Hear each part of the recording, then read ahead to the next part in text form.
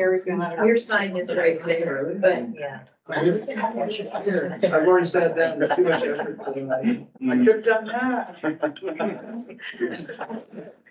Just a minute. Are we, have we started? Are we ready to start?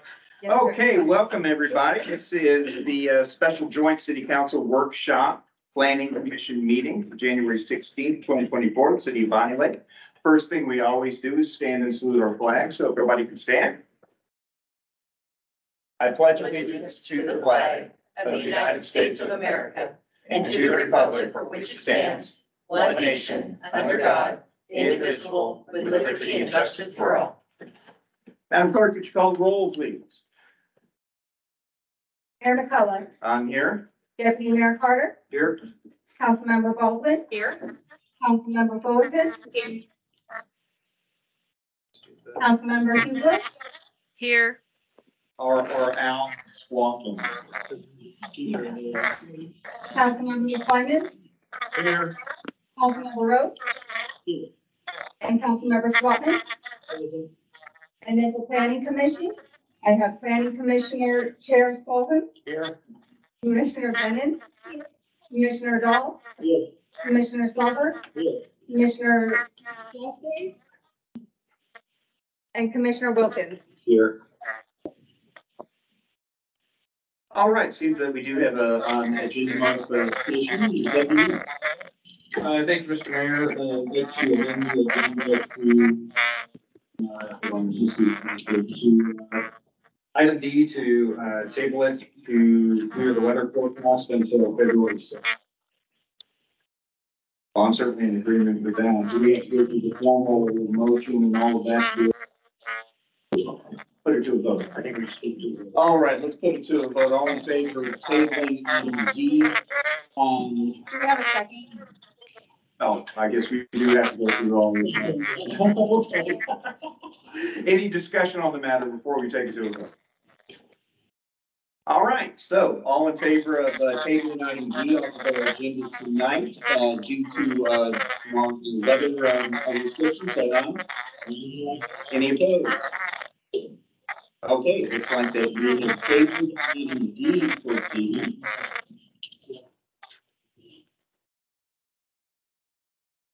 All right, now we'll go to the, uh, planning commission open discussion. Mr. Sullivan, floor is yours.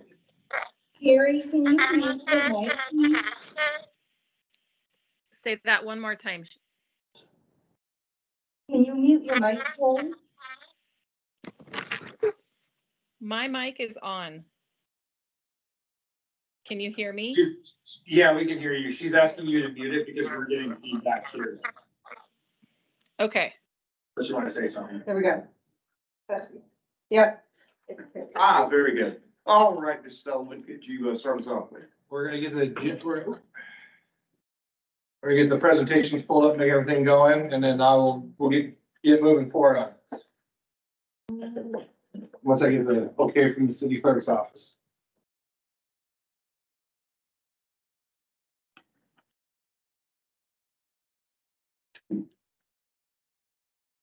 Okay. And started, do you want me to go ahead? Nope, you have to share it.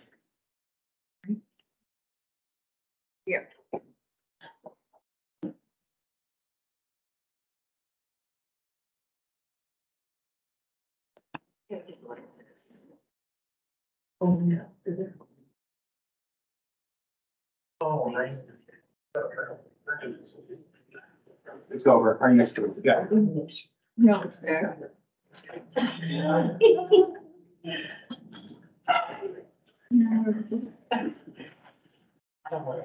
This one's, this one works in else. Yep, that's one. There you go. We good? Now you should be good. All right. Good evening, council and planning commission. Uh, we thought this would be a good time to do a joint briefing with both the planning commission and city council as we get kind of close to the end of our parks plan project. Um, as we put in the agenda packet, this is something we've been working on for about fourteen months. Um, getting close to the final stage, but we still had some feedback that we needed to gather from the planning commission and city council, um, based on comments we received, um, over the time. So Uh, tonight, we're not asking for any action.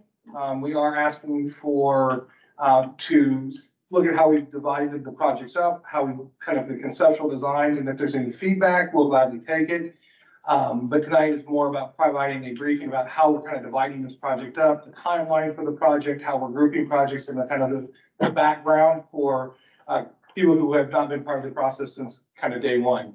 Uh, so that was being said, I'm gonna turn it over to, so yeah, so we're gonna do an overview of the project, uh, what we've heard so far, is some key project recommendations, a discussion on those, so we can help refine the plan that we will bring back forth to the public.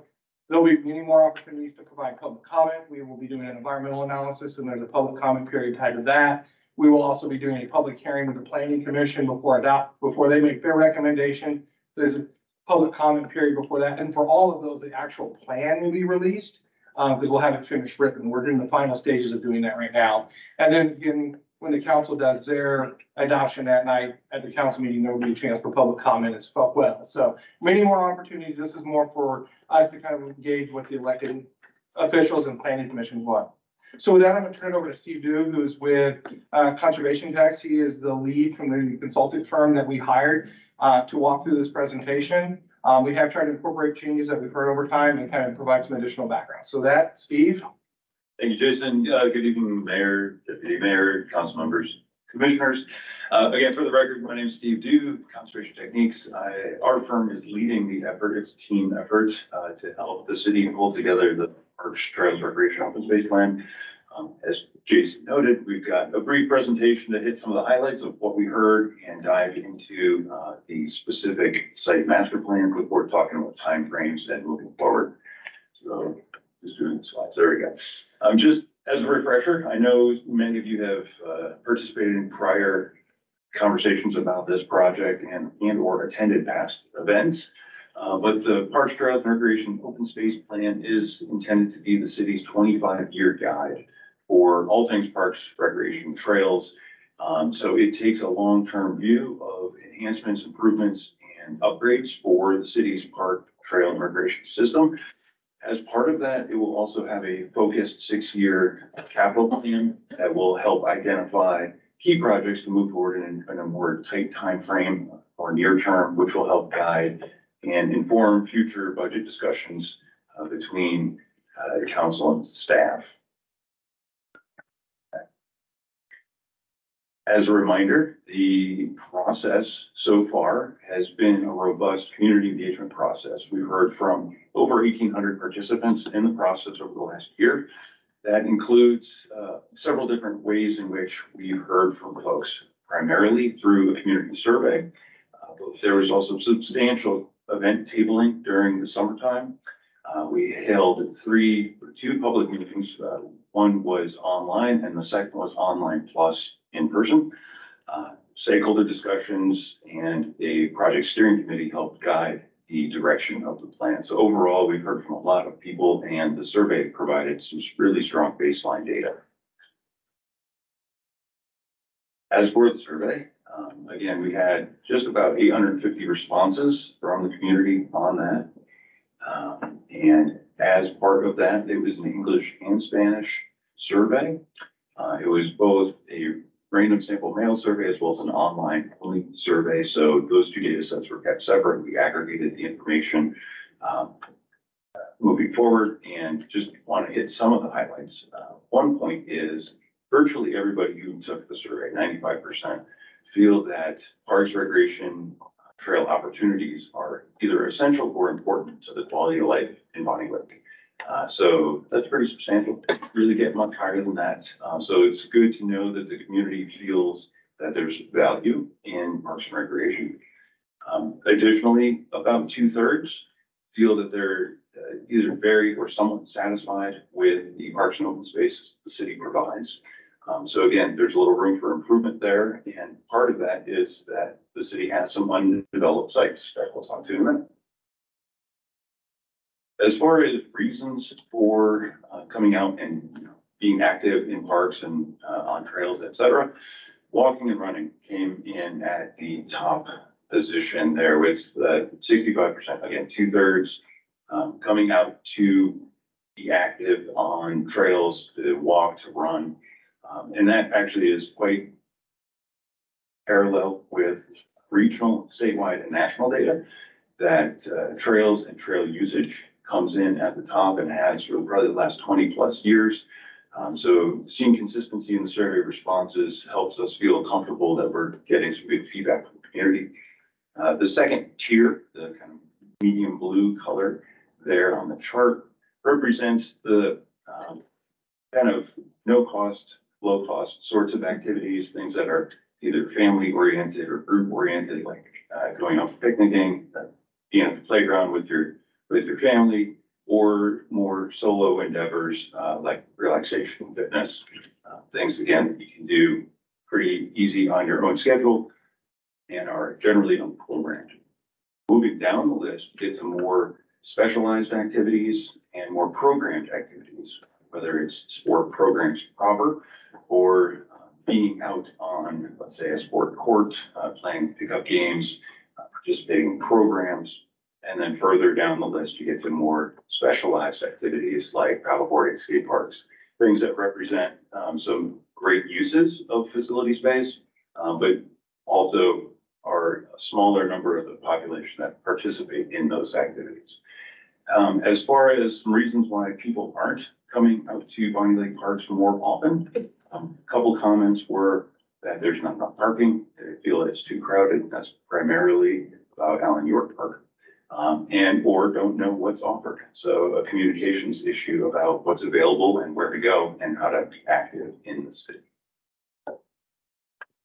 As far as program amenities or priority amenities, I should say. Um, we asked a question and basically said, of this list, how supportive are you of having the city add these over time? Um, one thing to note is, take a quick scan down the, the blue tones there, majorities of residents responded favorably for all amenities noted. Um, walking and biking, trails came out at the top, again, consistent with the usage that we noted in the prior question. Um, so again, internal consistency between questions is handy. Um, and but beyond that, you really get into, um, the notion that there's a latent demand for a lot of different activities in the city.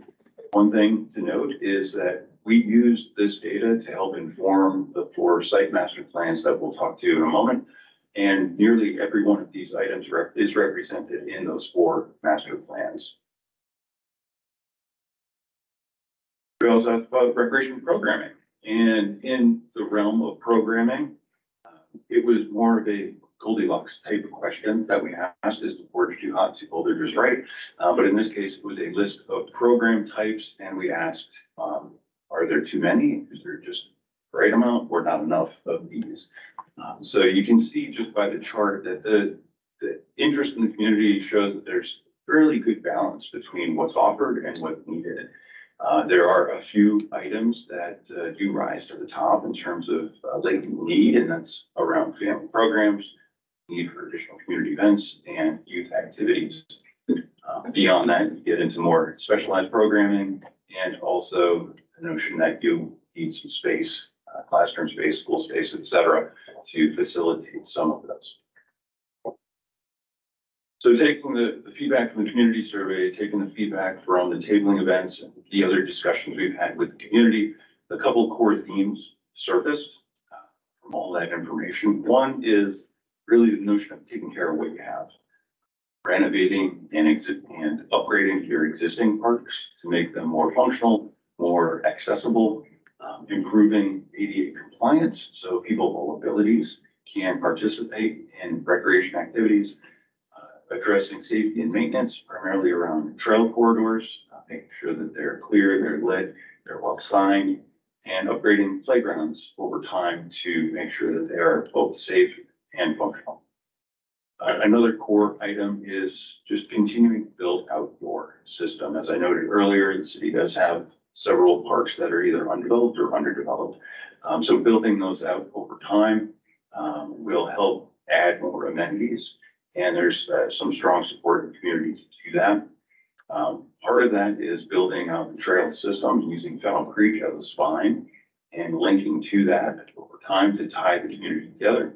And then adding more user conveniences, things like uh, restrooms, parking, signage, uh, picnic areas, benches, uh, just to enable folks to be active, be out and be um, comfortable. The third core item is expanding recreation opportunities. And this is the, uh, this is related to the chart that I showed earlier where most, the majority of people said they want everything. Um, and that is that, uh, there's demand for pickleball, additional field sport space, disc golf, off-leash, uh, playgrounds that are accessible and all-inclusive. So again, people of all abilities can utilize them, um, as well as splash pads and additional events. So again, that relates to what we saw in the survey, but it also relates to the concept plans that we'll show in a minute. Before diving into those concept plans, I want to just do a couple quick slides as a teaser for what you'll see in the draft Parks, and Trails, Recreation, Open Space Plan. Um, and that's around the notion of different system analyses that we did in, in the draft to date. One is around the idea of examining system gaps, and those gaps can take different forms. Um, in particular, uh, gaps around distribution of parks and trails and open space. So physical access, who has, uh, proximate access to a part or who has to travel an exorbitant distance to get something that's, uh, useful to them. Gaps also exist in the term of accessibility, and by that I mean ADA accessibility and, uh, universal access. So looking at improvements to make sure that people, again, of all abilities can uh, recreate and participate. Uh, And then the gaps also come through from our site assessments where we got our landscape architect visit all the properties uh, to make sure that the city can plan for an interesting park system that provides diversity of spaces and different ways to engage. Um, and then again, looking at today's population needs as well as going out twenty-five years. Quick snapshot of what this map represents. Um, it is what we call a tra- a travel shed map. So if you focus on the kind of pinkish hues, those represent travel sheds around the city's park properties. So what we do is we- drop a pin on the map, just like you do when you tell your phone, hey, how do I get to this location? Um, and from each pin, it represents a legitimate, a legitimate park access point. It's not a proper boundary. So it then links to the, the street network and we can kind of tie all the pins together to create these areas, these little blobs that show if you live within the pinkish hue, you're within, in this case, a half mile of city park. If you're outside of that, then you're in kind of the white background color. This particular map also shows homeowner association parks. Those are in the kind of purpley color. And those then are done in the same manner, but they are trimmed to the subdivisions because uh, the homeowner associations are typically private and affiliated with a specific subdivision. So we wanted to represent that. So the plan itself, we'll talk in more detail about this, but just offer a quick snapshot of this. So when you see it, it's a little familiar to So it's you. kind of a walkability thing, is that what it's? It's, it's a, tr- a travel shed, so it's based on a distance, not a, not a travel time. Because It doesn't make sense the way I look at it. Okay, And- Because the white areas, I'm looking at the white areas and they're a lot closer than some of the pink areas are to Allan Yorke. it's, it's based on the road system. So if, if there's disconnect in the road or a creek passes through, or there's no way to go from one side to the other, then it, it kind of cuts it off. So instead of a, a circle on a map that you can kind of fly to, uh, we can look more, in more detail if there's specific areas that don't make sense. Well, and then there's parks that aren't on there and stuff, but that's okay. That's good. We can look through that. Uh, Next slide, Jason. The analyses also look at some metrics, um, and this chart is, uh, a variation on something that the Washington State Recreation and Conservation Office put together as a tool in their planning manual, and the RCO, for, uh, those who might not know, is the state's funding agency for all things parks. So utilizing their tool helps the city pursue future grants um, in that you can share information in a way that they're familiar with seeing it. Um, so in this particular case, the, the metrics include things around quality of existing facilities. So that quality comes from data from the survey um, about people's sense of, uh, of importance around parks, the quality that we saw on the ground from our site assessments. Um, it includes metrics around distribution related to the maps I just showed. Um, this one particularly is trimmed down from what's in the plan. Um, but also looking at usage. Uh, so again, you're starting to track some benchmarks. So going forward, if you repeat some of these analyses or some of the questions in the survey, you can track them over time. So are you saying that your survey generated that need for satisfaction? Satisfaction. Yes. Okay. And that satisfaction is based on, again, the aggregate survey data around how satisfied people are with the current system. So as parks get developed or as Allan Yorke gets improved or Midtown gets built, I would imagine this uh, value would change in positive manner going forward. Is there a way to compare that to other municipalities? We can? We can look at it. We've done surveys throughout the Pu- Puget Sound region and we can see what's uh, common, but each survey is a little unique. So it's maybe a little apples to oranges, but we can take a look. Question I have is, um, uh, did y'all do any sort of, uh, return demographics, people actually returning surveys? Did you have any sort of, um, demographics involved as far as, um, uh, family, single, age, and but particularly what part of the city they live? Three of these four, yes. Okay. So we did, yeah, we did age group, we did um, households with without children, now by family children, as well as region. So it did, we split up the city in, I think, three or four different quadrants. Thanks. I, I just had one question too. You said that there was, um, eighteen hundred, uh, people that had responded, and then in another section, you said that there were about eight hundred or so, um, I, I'm trying to figure out what's, what's the difference between those two?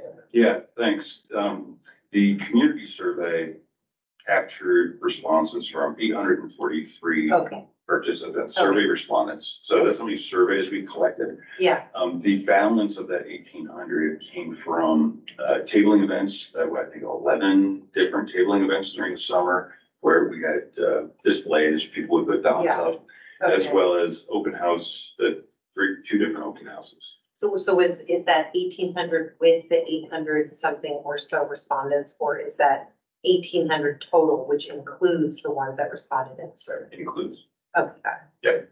I'm, I'm sorry, I missed it. What was the total number of surveys that were, eight hundred forty-three, that was, how many were responded? correct. How, what was the total count of surveys that were? We mailed out twenty-five hundred. And again, it was a split method survey, so the mail survey uh, was mailed out to twenty-five hundred. Honestly, I can't recall the, the number of returns on the mail survey, but it was probably, I'm not even gonna guess. Yeah, I I'd, don't, I'd have to look that up. I don't wanna misspeak. we, we tried to do.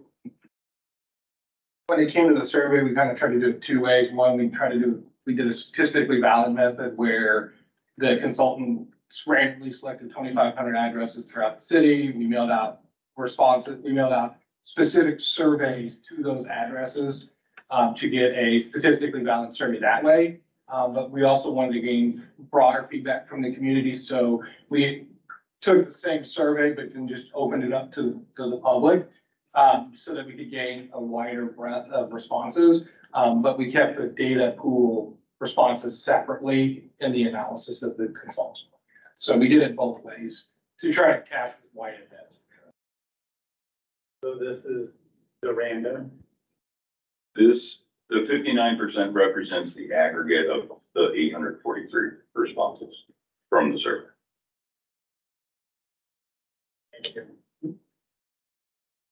Is there another question? Yeah, I just, uh, again, I'm not trying to make this a long-winded discussion, um, but I, I have mentioned it before, it just, you know, when we're looking at mathematics and we're analyzing this data and this random sampling, um, and then you have eight hundred and forty-three responses, plus the, you know, additional to then create the kind of a larger buffer from the table events and things like that.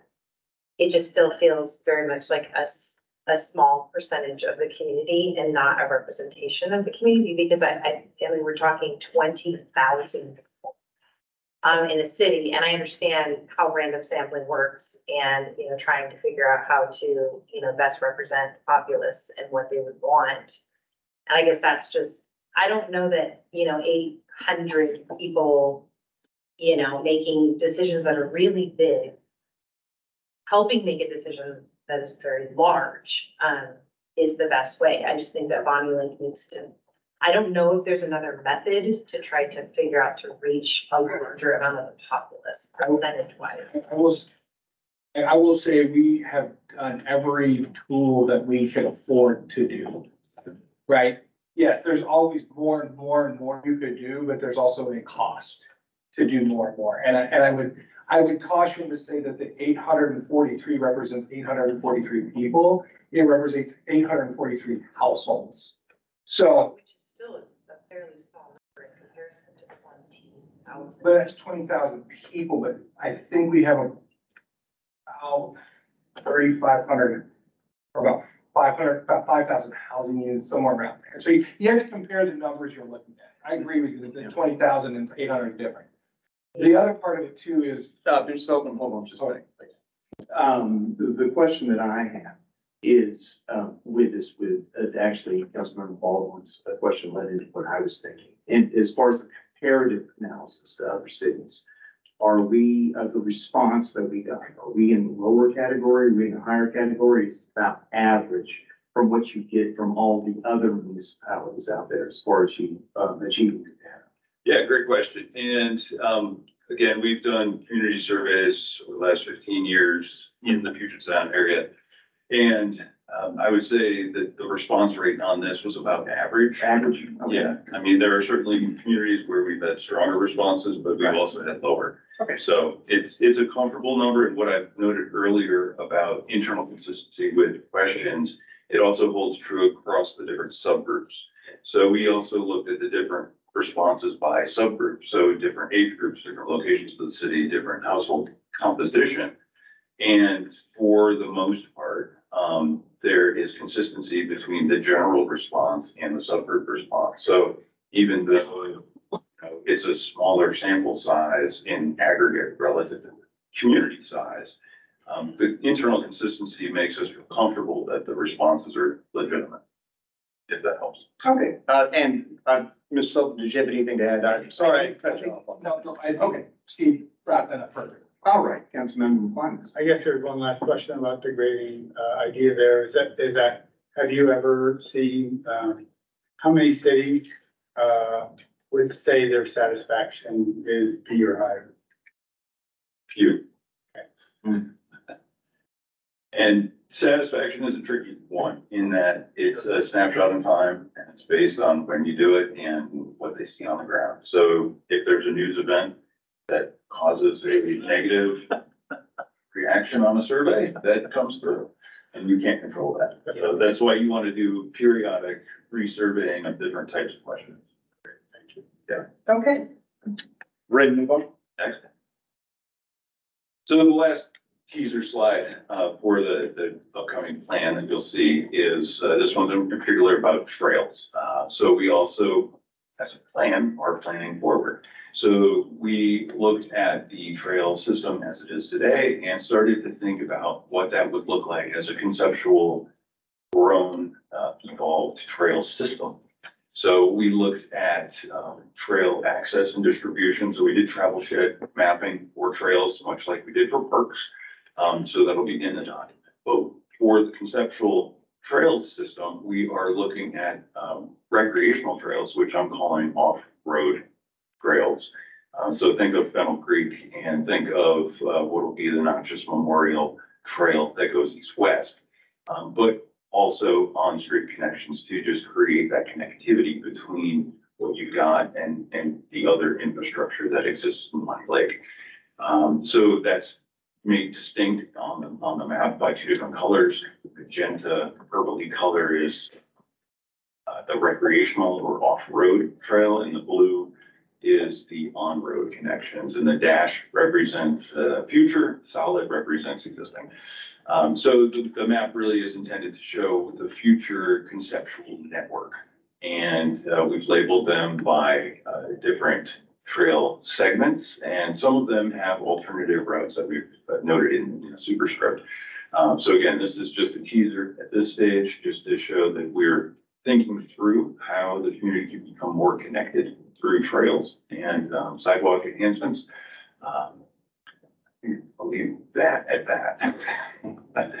So moving on, I Yeah, just More want to come on that one. yeah. So moving on, I want to transition into the four different site plans. Uh, I believe you've all seen these in various iterations in the past, so I'm not gonna really walk through all of the components, but I do want to walk through the grouping of how those components could be constructed going forward. So as you, Yeah, so, I- as, as Steve walks through this, I I want to, I want the commission and city council to keep in mind is we're talking about the twenty-five year build out of the park system. So this is, when we, if we did all of this and we got to day twenty-five years from now, your park system is basically built out. Um, and then you would be talking after that about what's next. So this is really kind of a, a holistic, comprehensive look of a twenty-five year plan that we're gonna take in smaller chunks over time. So we're not envisioning this to happen overnight. This is a, twenty-five year plan, so we're trying to figure out how to group these projects. And it's gonna be important later of how we play this out. So I just kind of wanted to leave that in. Sorry, Steve. that's fine. And, and as part of that, um, the notion of grouping comes as, uh, you know, construction efficiency, certain amenities are either located next to each other or can be done in a similar, uh, work environment. So there's some efficiencies around how you group things and also there gives you the potential for pursuing funding or specialized, uh, resources for any of the particular types of grouped projects. So as a project team, we try to just identify ways in which we can chunk out the different park developments, uh, because again, some of these are substantial investments. And you're not gonna be in a position to do a project like Allan Yorke Park all at one big bite. Uh, there's a lot going on here. Um, so let me just walk you through how it's segmented and, uh, we can go from there. So as you can see in the graphic, um, we've got them labeled by letter and you can see the, the call outs on the side. So area A represents what would be the northwest parking lot, and that would be for car and for boat trailers. Um, so that would, uh, support the boat launch, but it would also support the sport fields that would exist in the north corner. Uh, Area B would be a conversion field four into an uh, artificial turf, multi-sport field, and would accommodate uh, some space for um, uh, temporary portable restrooms uh, going forward. And A and B can move forward potentially as a, a linked project or um, earlier because neither of those rely on what would be the rerouting of West Tapps Highway. So that's another consideration. So moving through the graphic, um, area C along the water is the boat launch relocation, boat queuing, and some piers uh, to really improve the function of the boat launch space and to accommodate uh, improved turnarounds and um, again, better access to the water for trailers. Uh, Area D is one of the two core central parts of Allan Yorke that would exist on the, uh, north side of the rerouted West Tapps Highway, and that would include the amphitheater, Great Lawn, uh, a maintenance building, and some, uh, other related improvements. And adjacent to that, area A, or area E, would be the playgrounds, uh, spray park, concessions, restrooms, picnic area. Um, bunch. Well, I appreciate your courtesy on the description, but the lawn ain't that great. It will, yeah. The projects that make the lawn great. Maybe not Have right a up lawn to- Made of grapes. There you go. Um, and then adjacent to, um, the, the playground area. F is the beachfront upgrades and F and C could potentially be grouped together to mm-hmm. then assist with permitting enhancements and other waterfront or in-water work that might be needed. And the beachfront improvements would be basically bringing in sand, enhancing the beach, the, the feel of the beach, and relocating the sand volleyball. Area G, H, and I are kind of a core area on the south side of West Tapps highway rerouted. Uh, G would be the uh, southern parking lot to support the things on the south side. Area H would be the, a new basketball court, uh, renovated tennis court with pickleball lines. Um, and I would be primarily trails through the rest of the, the park to link things together on the north-south basis and represent the northern extension of the Fennel Creek to Allan Park, Park Trail. Um, last, in area J, there would be a playground that would be part of a project that's adjacent to Field Five that can move forward also separately. Not in this part. Question was about a dog run. We have that in the next graphic. In Midtown, there is at the very bottom, you can see dog park, uh, in, in E, we can get to that in a second. Um, Midtown, a slightly smaller property that accommodates slightly fewer number of, uh, sub areas to, to work with. How'd you get smaller? It was Midtown. I thought it was forty plus acres. Um, I, I, I, Councilmember Swatman, I think he was referring to as compared to Allan Park, which is significant. The entire, the, All, if you take all of, Yeah. all chunks of Midtown Park, or at, at Allan Park, that's, I think, it's, the scale, the, the park's just less, this one's only forty acres as compared to Allan Park, which is. So Midtown, um, area A would be the, um, central sport field, one of, one of two sport fields. That again would be artificial turf with multi-sport field space, uh, pickleball complex of six courts, plus parking to support that core central area. Uh, area B would be set aside for community and senior center relocation. Uh, area C would be the spray park and playgrounds and additional parking to support, uh, that portion of the park. Area D would be another, the second of two sport fields, again, artificial turf and multi-sport. And the remainder of the site, area E, um, represents everything else, which is uh, trails throughout the site, um, bike skills, mountain bike course, uh, pump track, disc golf, and off-leash dog park. before we move on, um, the, uh, and I'm not even gonna uh, question the percentage of parking spaces versus what, what we have available as parks. But What I'm not seeing on there is the ingress egress and the, um, um, and what might be developed around the park to accommodate the additional traffic that would be going on to, uh, have people, um, available for the park. Was that considered in this? I would defer to Jason. Yeah, the, the access for the park and it's adopted in our future road plan is to extend to hundredth, um, which is along the north side of the park and it tor- ties into two hundred and fourth. Um, and then there's the traffic signals that go out to both four ten and South Prairie.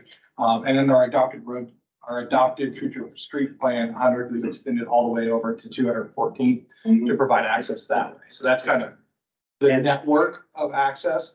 Um, because of the stormwater pond, we really can't get a lot of access directly to South Prairie. Um, so that's kind of how the access as overall was looked at, is trying to get people uh, to the two fourteenth or two hundred and fourth, and then from there out to four ten or South Prairie. And is that, um, uh, those issues been brought up with the Tarragon negotiations? Because that particular issue came up a couple of years ago as far as what they were gonna develop is in, in that area as far as, uh, uh, uh, accommodating the additional traffic that would go on. Yeah, so there, so there's the Tarragon project, which is under a firm development agreement, and at this time, that's kind of still sitting there. Um, the adopted future road plan is part of that extended road network, uh, in both, uh, adopted by the city council as part of the future roadmap. So any development that would occur on the Tarragon property is required to comply with that future road network, uh, and build the development on that future.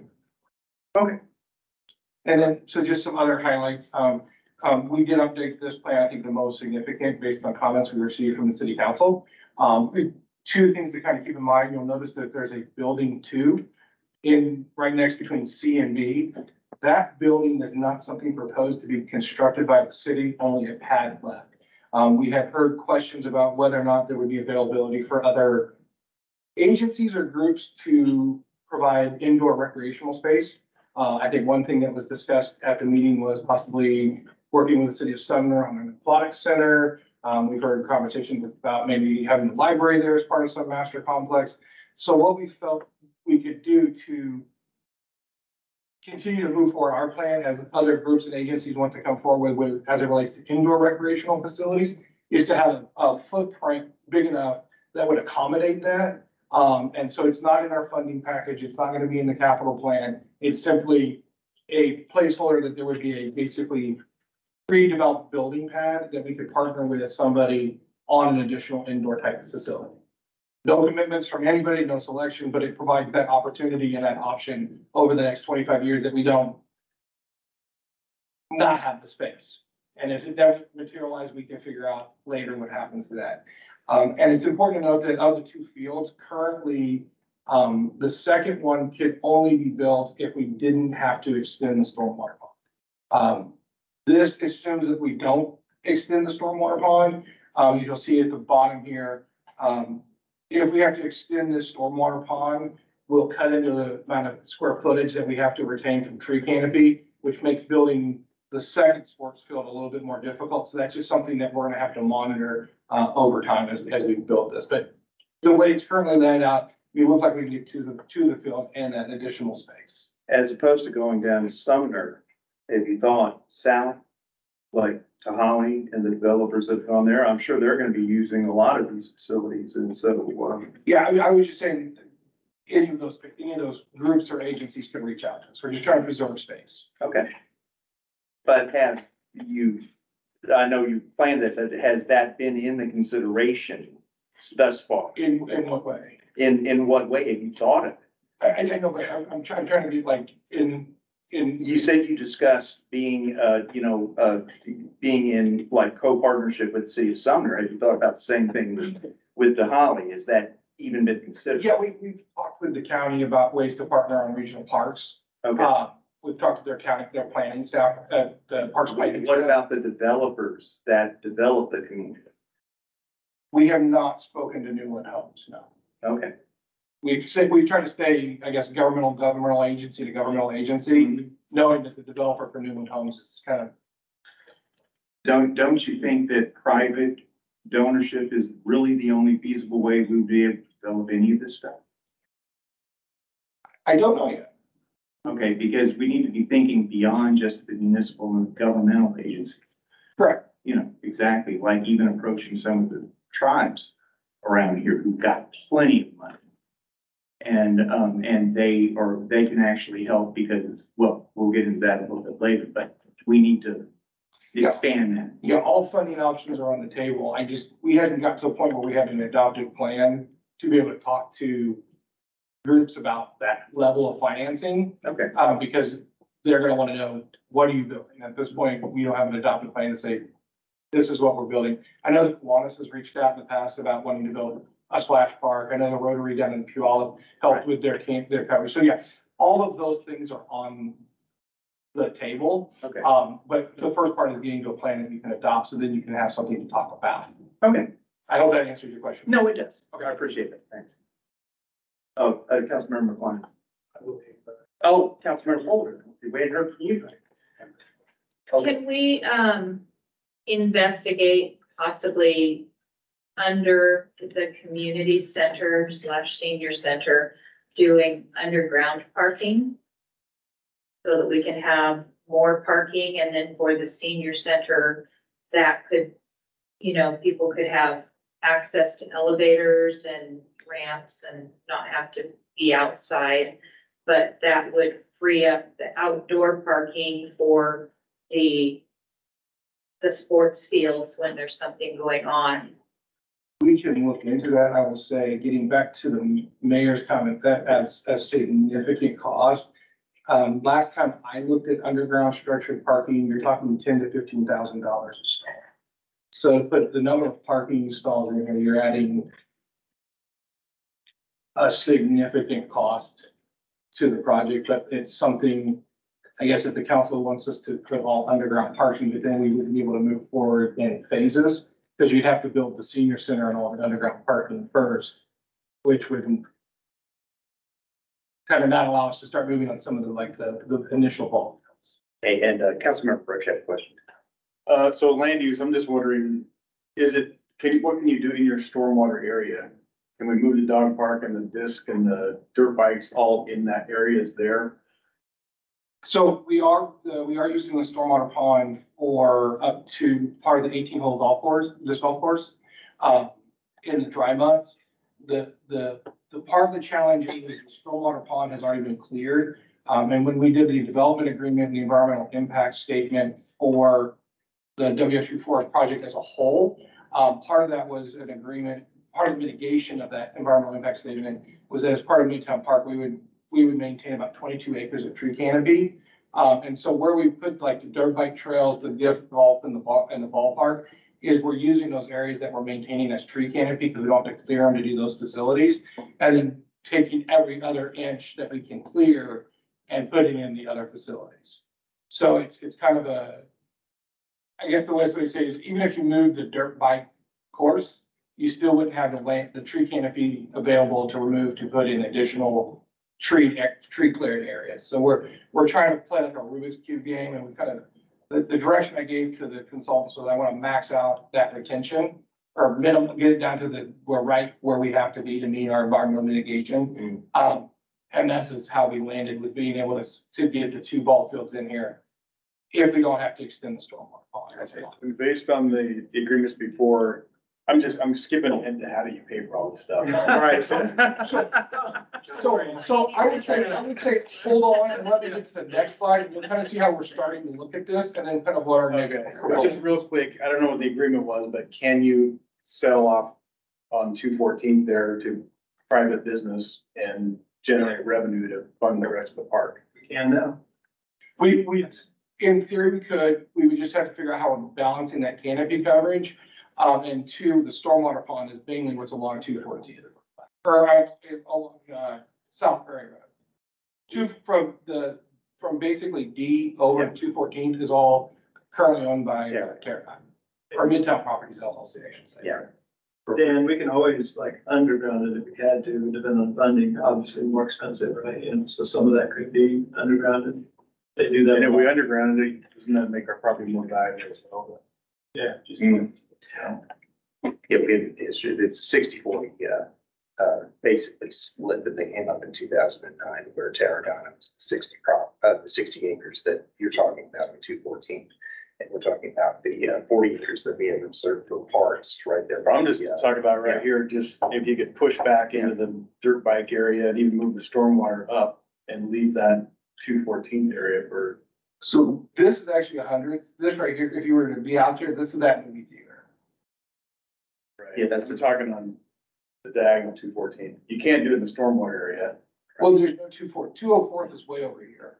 Yeah, that's, uh, There- Oh, South Prairie. Okay, South Prairie, sorry. This is South Prairie. Right.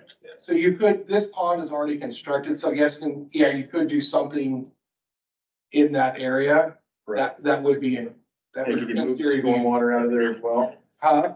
Can you move the stormwater up so you have the other area on the other side of the, That would cause us to redo all the work that we had Visconsi do when they built the Costco. And that actually, that, that would, that stormwater pond was pretty expensive because it's actually, and probably it's actually regulated as a dam because the amount of water it can hold back. So moving the stormwater pond is easy on paper.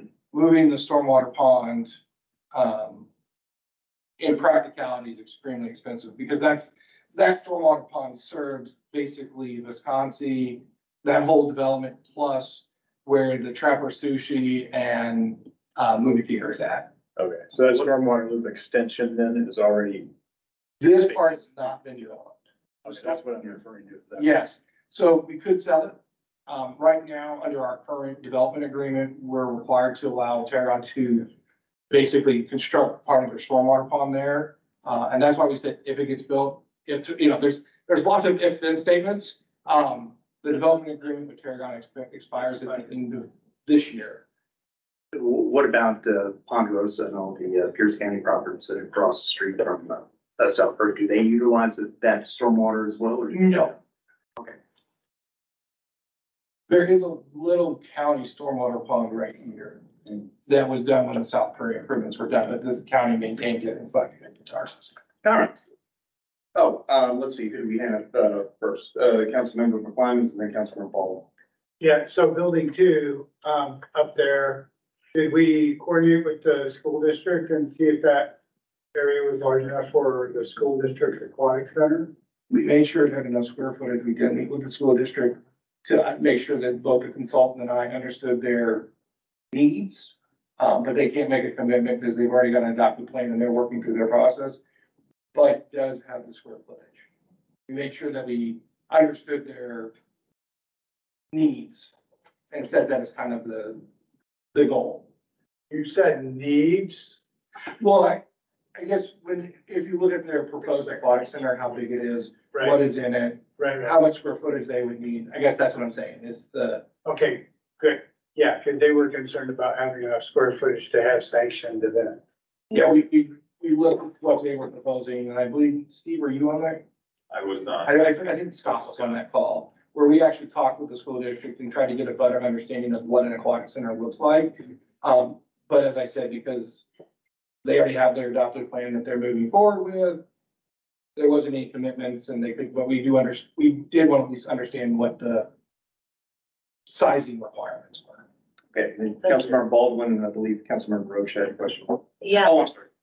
This all looks so amazing, like just how everything has been put together through all the different ideas, so, um, great job. Uh, I think the only question that I have, and maybe if you play disc golf, this might be offensive when I ask this, but, um, when I'm looking at kind of all these other areas, I can see, okay, yeah, like a lot of different types of people are gonna be able to use that, that, that, the dog except for the disc golf, and I'm looking at just even just the size of it. Um, and so, yeah, I guess is, is, is that going to attract a lot of people? Cause I've been to different areas and I always see just an empty Well, from, from area. who we've been contacted by and the, I will say that one of our highest responses from the survey kind of came from that group. There's a lot of people passionate about it. Um, and we felt like it was a good way of, we felt like it was a good way of using the tree canopy, right? So there's that area we have to retain as tree canopy. The nice thing about the disc golf is it just went into the tree canopy. Yeah. So it was a, it was a low cost way of putting additional improvements in the park Yeah, that took advantage of something else. The Got it. same with the dirt, same with the mountain biking trail, the, not a lot of, not a lot of clearing in that area. great, Um, so we were able to, to put an improvement in that provided additional capacity without having to remove basically tree canopy. gotcha, okay. And Councilmember Roach, and then Councilmember Paul. Okay, this might be a side conversation. I know we're setting up meetings to meet with you and others for the, those new guys, but um, you mentioned something about Tarragon's agreement expiring at the end of the year. So it went for any, I'd like to learn more on that anyways. What does that mean? Where are we with that? Can we potentially partner with project we're trying to work on here? I, yeah, I think that would be a great side conversation because there's lots of, um, Interesting history. yeah, lots of history. All right, Councilmember Paul. Yeah, I, I do like that you added some sports fields, um, to this. That's great. Um, appreciate that. Um, I would like to go back up to, um, Allan Yorke Park. Quick. On section B. I'm looking at that parking lot there. And I'm seeing, like, we have an existing parking lot that's, that's sitting there at Allan Yorke Park. And it doesn't have trees. We're talking about making that parking for the boat launch. And I'm concerned by adding trees to a parking lot that is for boats we're gonna end up taking out some trees with those trailers. Those, those are long trailers. And the, the parking lot right now as it exists does not have trees there. So why are we adding trees to? I understand like you've gotta have like this tree canopy, but like right next door, we literally have a forest right there. And it's pretty shaded right there. And I know like California, they went and painted all of their streets white. And that supposedly helped to reflect the heat from the, um, from the, um, sun from absorbing into the black pavement. So it became white and that helped supposedly. I don't know, but, um, I, those are gonna have to be very strategically planted trees. Well, I can, I can say that in the, in the conceptual designs that we previously presented, that parking gets converted back to single vehicle parking to have the parking for field, that new field right there. So there wouldn't be boat trailer parking in there in the ultimate design. And it gets reconfigured and laid out to maximize it, which means we need to add the trees in. And it also was the offset for the trees when we'll moving removing in area A to provide the other boat trailer parking in area A. So we're moving boat uh, launch parking back up to, uh, up to trailer, or up to section A. Sometime between, yes, as the plan evolves over time. And we have to remember, this is a twenty-five year plan we're talking about. It's not like we're putting everything in in the next two. Well, months. hopefully some of these things can get done before, um, I find a gravestone to live. We, once we get, we do have a great slide, we do have a slide. Well, we wouldn't want you living in the gravestone.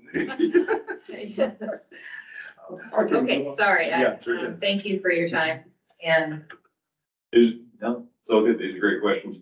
And it's better to get clarification at this point in the process than later on. Um, just jumping ahead, uh, we got two other concept plans just to walk through. One is Victor Falls Park. This one is very straightforward in that, uh, the intended concept plan is to enhance and improve the existing parking lot, um, pave it, and, uh, add improvements for ADA. Uh, provide a trail along the north side of the the creek with three viewing platforms. Um, provide picnic area and also some safety improvements along that trail corridor. Um, just so users are protected. So this one is very discreet in its en- enhancements. Uh, the last one, Cedar View, um, a- again, a smaller neighborhood park, uh, broken up into smaller chunks. Um, so area A, which is the existing, uh, play field, uh, would include a, um, enhanced baseball backstop and, uh, regrading, uh, reseeding the play field, um, a new covered multi-sport court, so, uh, basketball and pickleball, and parking along two oh six. Um, area B on the north side would have the, uh, spray park, restroom building, and parking along ninety-fifth. Uh, The central part of the park, uh, area C would be an upgraded playground and natural play area.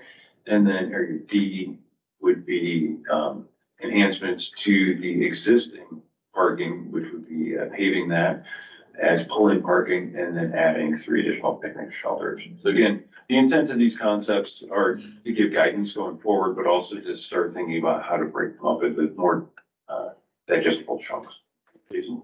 And, and we just kind of wanted to close, this is an update of a slide that we had produced before. Uh, one of the big things that we've heard through this process is the need for sports fields and sport-related access throughout the community.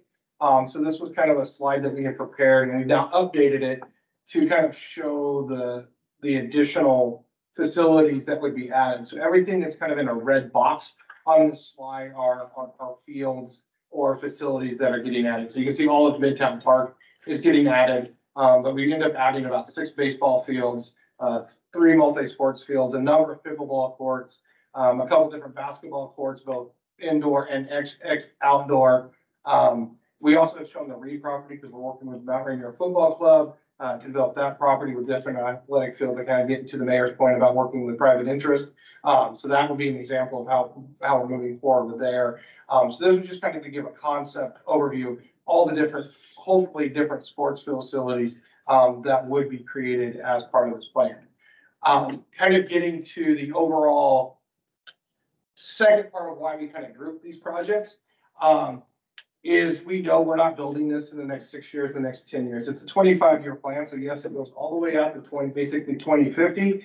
Um, and so what our, our strategy and approach is, and it's kind of, there's a couple of reasons why we kind of piled it this way, is we- we've listed the projects on the left, kind of with that different, those nomenclatures, A, B, C, D, and E, and when we would likely build, try to attempt to build those projects out. Um, the reason that you see the northwest parking lot all the way elevated to twenty-four, twenty-six is Leslie and I were doing some research. Uh, and there's a grant available currently coming out this year, um, for boating facilities, which includes providing boat, building boat trailer parking. So there's a grant opportunity, so we kind of move that part of Allan Park forward by itself, so we can try to chase that grant. Um, we'll see what happens there. Then the rest of it really starts to swing over to Midtown Park. And we spend about the next eight years developing different facilities in Midtown Park. Um, the first one being that first sports field in Midtown Park along with the pickleball. Uh, there is a grant for about one point two million dollars coming out of RCO this year. Um, Leslie and I are also planning to chase that grant to help fund that, which is why we're trying to get this plan wrapped up, so we can say, yes, this is the plan, this is what's been adopted, these are the schedules and why we're moving forward with these grants. Um, we did provide some additional work in Cedar View because we think, um, the, the backstop in the sports court with, with a lower cost pipe project that can provide a lot of benefit to that neighborhood. And at the bottom, you'll see the Reed property. Um, that's not really our construction of the Reed property, but that's our purchasing. This gets weird, and I know there's lots of debates about this, but our purchasing of the property from, as a city, general government from the water utility so that it can be developed with park facilities at a later date in partnership with MS, above RC. So I think for us, I think we've, we've heard some great feedback on the parks and the grouping. Um, is there anything kind of on the project sequencing that's later in the sequencing that you would like to see earlier in the sequencing? Um, because this will, and we get to the next steps, we'll kind of see how this is informing our next kind of step with the city council. Uh, Councilmember Klein. Yeah, so, uh, we missed an opportunity to take a poll in the last election cycle. We could have put a, uh, a measure on the ballot to inform us, but we weren't ready, so, you know, I mean, it wouldn't have been a very good measure, but can we, uh, prepare a few, um, uh, questions for the twenty twenty-five race, Bonney Lake? We'll, we'll have people in that race, so the price for putting a few, uh, measures on the ballot to get feedback from more than eighteen hundred people would be a bargain. And specifically, I think I'd like to see, uh, a measure that said, would you bond for B and D to pull it from forty-four back to twenty-six or twenty-eight? About how much does that cost to be? Yeah, I'd have to defer to city administration on that. one. By I don't know what- 2,500? I mean hypothetically. uh, I, I don't know. I, I could, to- I could look into that. Yeah. About what it would cost to put something on the ballot.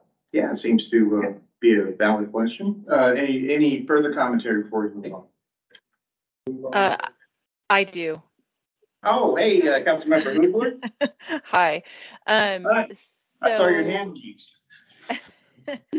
um, so some of my concerns in after, you know, being out there talking to the public and uh, stuff over the summer and being on the planning commission, the playground and spray spray parks are almost more important than sports fields are at this point because parents don't have anywhere in our city for their kids to go and play.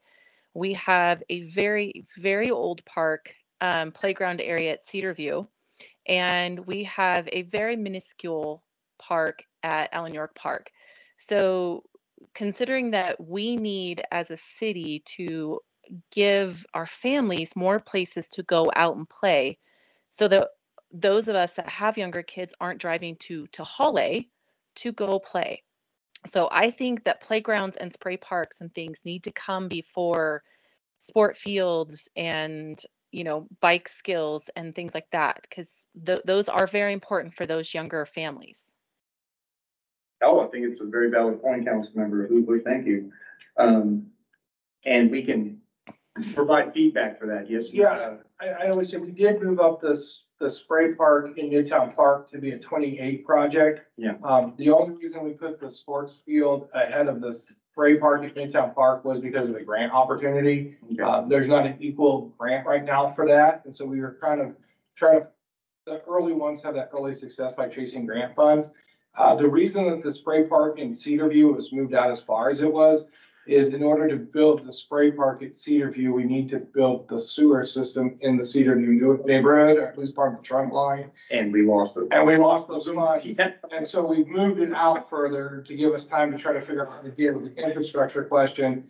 And then really the one in Allan Yorke, the one in, um, Allan Yorke Park really requires us to have the road reconstruction done first. And so we felt like that was just something that's gonna take a little bit more time to come together. And so trying to move that for project forward without that other project would just be difficult. So don't disagree uh, with you, uh, Councilmember Hubler, but I think that's kind of the, at least the strategy was to try to get the one at Midtown Park at least going here in the next couple of years. And uh, Commissioner, uh, Solomon had a comment. Yeah, uh, Thank you for raising your hand. during our sensing session during the summer, Hmm. uh, the Lions Club was very interested in the spray park. And they said apparently there's funding from the national organization to support these things. Do we have grant opportunities for that? Do, do you know? We can look into it. Okay. Yeah, definitely. And, and yes, if we can advance a project and get it because we've got grants, we will gladly, our partnerships with private organizations, we would gladly do that. So All right. this was just assuming, not knowing all of your plans. Does that answer your Uh, council question? Councilmember Swanton. Yeah, that- I was interested in what Mr. Roach was thinking over there about funding and I don't know if this is the point that we were talking about that in, because, you know, some of these grants that we're talking about are minuscule, basically. Mm. There's a lot of them out there. There's hundreds of thousands of dollars worth of grants out there. And they're just, that's, that's like a joke. You know, I could write a check today for a hundred thousand dollars and it'll get you nothing. You know, when you're talking about these level of improvements, you're talking about multi-millions of dollars. Many, many, many, many, many. Yeah, the, the one, So how are you gonna generate that, right? It's the question. so I, I- can I go to the next slide? And I think I can answer both of those questions simultaneously. Perfect. The grant that we're looking at for Midtown Park is one point two million dollars. Uh, so that, we felt that that was a sizable enough. I don't remember what the grant for the boat facility was. Good luck getting that. What was the grant size we got for the, whatever it was, kind of arguably the twelve million dollar field we built over there? Three hundred? Three fifty, like I said, Oh, that's, that's not bad. Right, we're there. we're gonna do our best. And I think the next step kind of gets to that question. Um, we want to make sure we have the projects grouped correctly, the timeline generally correct, knowing that there's some things that we might want to advance or not based on funding. The next thing that we're doing as part of this package is we're gonna be coming back, and this is what I promised the council when we did the initial contract was, we're gonna bring back the costing and revenue together. Um, and that will allow the council to either kick projects out past that twenty-five year window if they want. It will, we're working with FCS Group right now to identify, one, what the rate study is for park impact fees, which is a critical component of this, and other revenue sources that are available to the city council. Um, and then the city council can make those choices and we can run that project. So I guess to get to your question, uh, Councilmember Roach, is we're, we wanted to make sure that we had it grouped right, that we had the projects listed right, that we had the timing right, and then, uh, Steve and FCS Group will be coming back to do a presentation about, here's the cost, here's the revenue you could get for park impact fees if you set them at different rates. Um, and here are other funding sources that the council could, uh, consider. I know at one time the council was considering B and O tax for park improvements. Uh, that's an option that's still on the table. Um, and so there are other funding sources out there. There's grants. What, what kind of estimated timeline are we looking at to get the revenue, uh, presentation? It will probably be in the next thirty to forty-five days. Okay. Uh, because we want to have this adopted by April, so that we're, avail- we're available to start chasing grants in, in the fall. Um, Okay. So I hope that answers, All right, at Councilmember least Swanton. where, when you're gonna get the information. Councilmember Flyman? Or, the bond measure gonna be part of that revenue? It, it could, Do you honestly think that the public is gonna vote for any kind of a park bond when they defeated the last one so significantly? Well, depends No, on timing, and how long ago. But no, but you know what? That's a significant data point for us, isn't it? Right, that we know, that's the biggest poll that you can take and be definitive, no, Bonney Lake citizens don't wanna pay for a fifteen million dollar park. And Commissioner Saul. as I remember, uh, the people who moved that park going forward could agree on what to build. So it was, It wasn't specific. it was a tax Yeah. forever, now buying into thing. Well, the solution would be, here's what we're going to build, when we're going to build it, you want to approve it. Mm-hmm, mm-hmm. That's right. The answer will clearly still be no.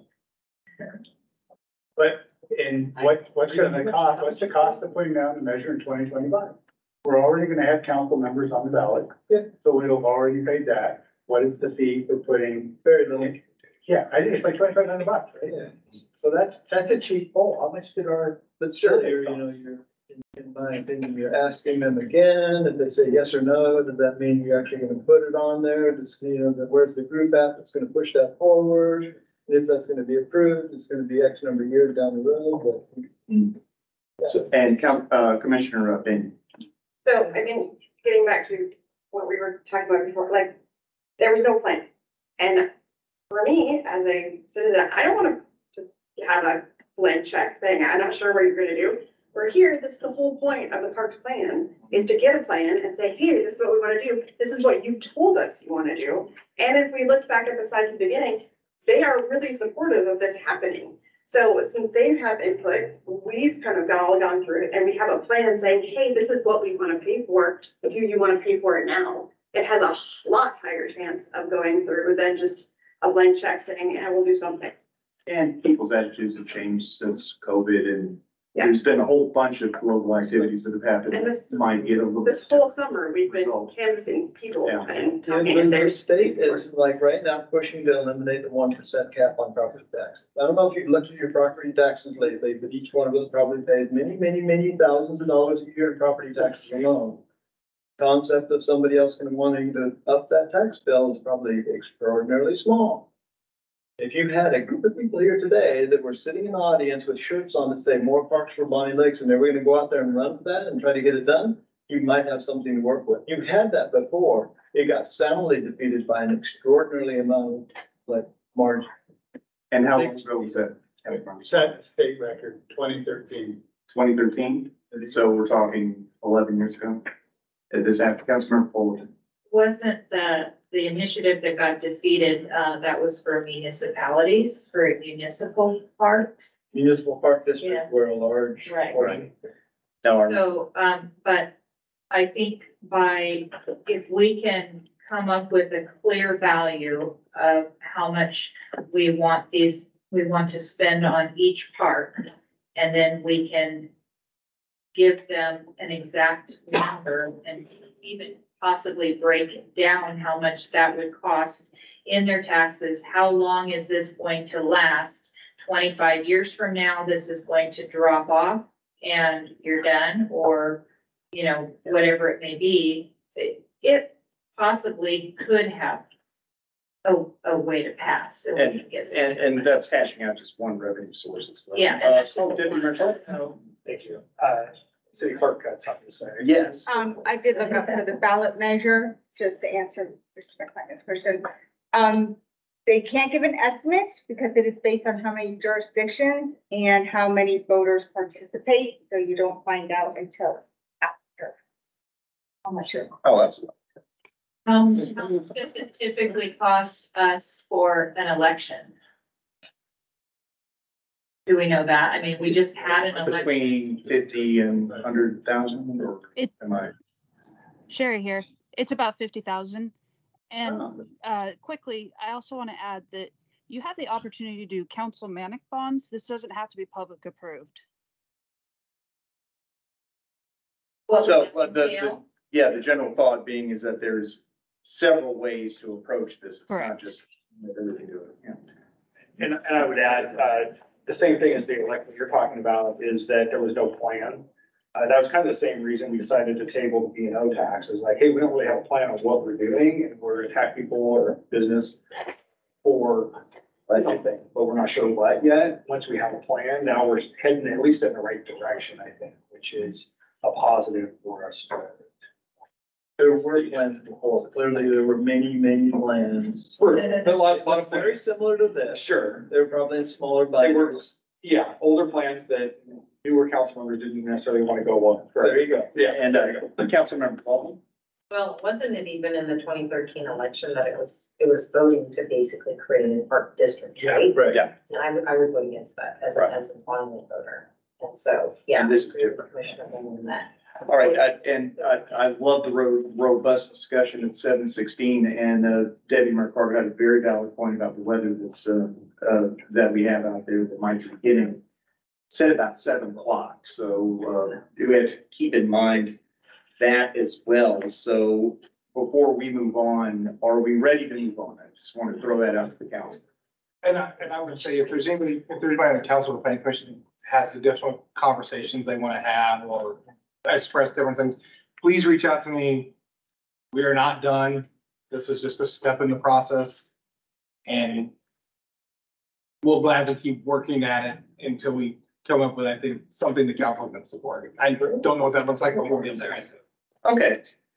Believe we are ready now to end the joint city council workshop and planning commission. Oh, We got one more item. one more. I have that on my agenda. We we can table that for now. Yeah. I'm Trying to do this. All right, so we have one more item. Councilmember Hewlett. Oh. You were with the commission for a long time. And as is traditional, when a commissioner moves on to the city council, we give them a vest we're going away with. But we will give it to Aw. You. I love you guys and I will miss you, but I'll come see you still, I promise.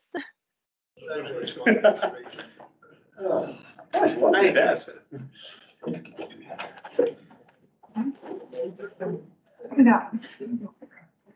Okay, and uh, apparently I jumped the gun and I wa- don't want to do that again.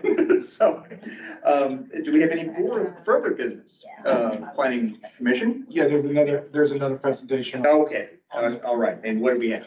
The comprehensive plan. Okay. Just waiting for the. Yeah. Not, not quite like it. Yeah. You not need to exit? Yep. Thank you. There we go. Now we can do it. So, extra, uh, The other one. Clear, not yours. Right. So this is the middle one.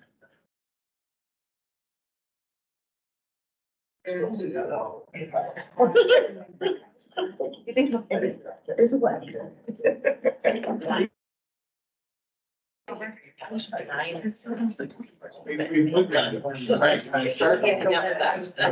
right, I, I know that it's been a long night and we've got weather, but we do have some, this one is kind of deadline sensitive because we have to be done by the end of the year. Uh, and we are really behind the eight ball on this project, so we did need to get this kind of kicked off with the city council to make sure that we are at least pointing in the right direction. Lots more to come, but we are wanting to be sure that we're pointing in the right direction. Um, so that we at least start off on a good foot. So, um, we are in the process of updating our comprehensive plan. We're doing the required periodic update. Um, that is required by state law. Um, this is an update that the city is required to do under the Growth Management Act and have completed by December thirty-first of twenty twenty-four. We always get the question of why we have to do this. Not doing this makes us, make, makes us not eligible for grants if we're not certified by the Puget Sound Regional Council and updated our comprehensive plan and submitted to Commerce. There's also other sanctions that the governor's office can place on cities who refuse to update their comprehensive plan. So there are financial implications from not updating your comprehensive plan. So it is very important um, that we do it. And you said the deadline is the end of the year. The end of the year. Okay. Um, and, and we're kind of in a, in a very, I don't want to say tough situation, but we have lots of people outside of the city telling us some things that we have to do. So we've got the Growth Management Act, which is adopted by the state legislature, which has a number of requirements that we have to include in our, in our comprehensive plan. Um, we also have Vision twenty fifty, um, which is adopted by the Puget Sound Regional Council, which we are part of. Um, but it is a multi-county body that includes countywide planning policies that we have to meet. And also the countywide planning policies that are adopted by the Pierce County, uh, Regional Council and also Pierce County, uh, which is why it's important to have people serving on those bodies as well. And in our local comprehensive plan. Um, so that's kind of the, the political, the, the, the, the framework in which we're working under the requirements we need to meet to update our comprehensive plan. Why, are- the other reason we update the comprehensive plan is because it directs and guides the work that we do as staff over that ten-year, that, at least that first ten-year horizon. Um, it provides kind of our compass of where we should be working and putting our efforts, um, guiding how we do capital planning, how we do budget planning, how we do development code writing. The comprehensive plan is kind of our first step. And so again, getting the council's policy direction built into that, along with the community's policy direction, is really critical for all the work we're gonna do over the next ten years.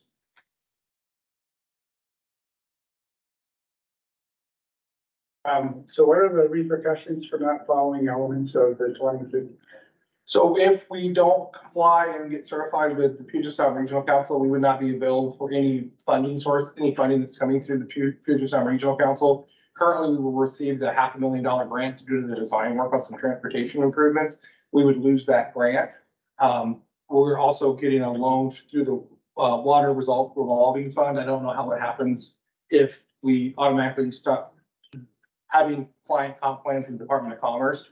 Um, for any state funding, revolving loans, TIB, uh, RCO. What is TIB? Uh, Transportation Improvement Okay, Board, um, you have to have comprehensive plan that has basically been approved and and adopted by Department of Commerce and meeting their requirements. Uh, additionally, if you just say we're not going to do it, um, there are other uh, sanctions that can be placed on cities, which includes taking away the city's portion of the state revenue sharing from like uh, liquor tax, gas tax. Um, also, it it can impact our ability to collect REET money. So there are real financial implications. And I believe the city of Chelan or the county of Chelan was the last one.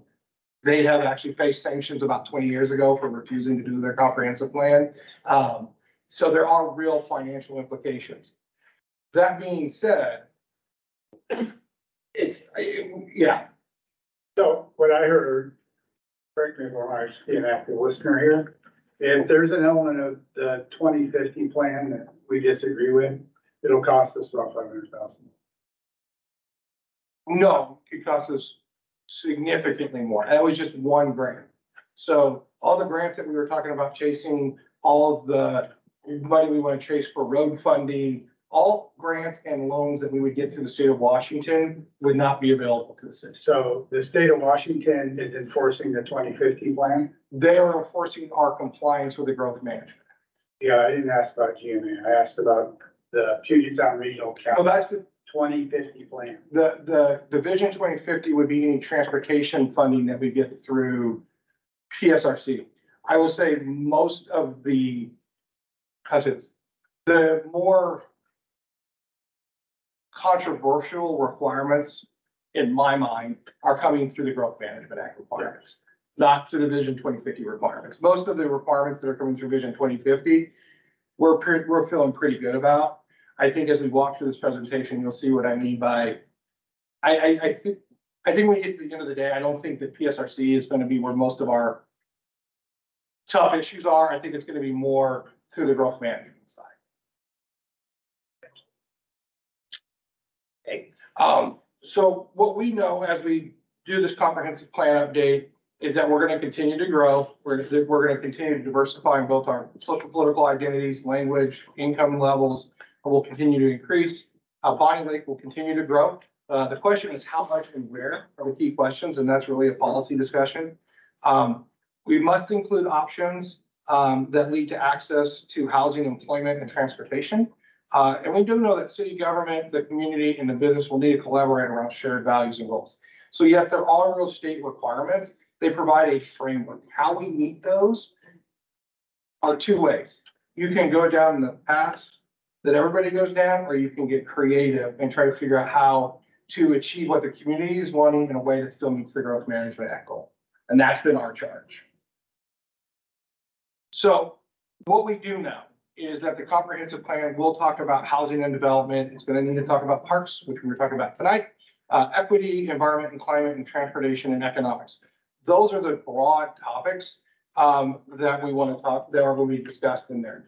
And when we talk about equity and comprehensive planning, the vision I want people to have in their mind is it's about access to public and public infrastructure improvements. For example, the most simplest one I can use is a crosswalk. When someone walks up to a crosswalk, we design those to be equitably used, which means for people who are blind, there's audio signals saying walk or do not walk.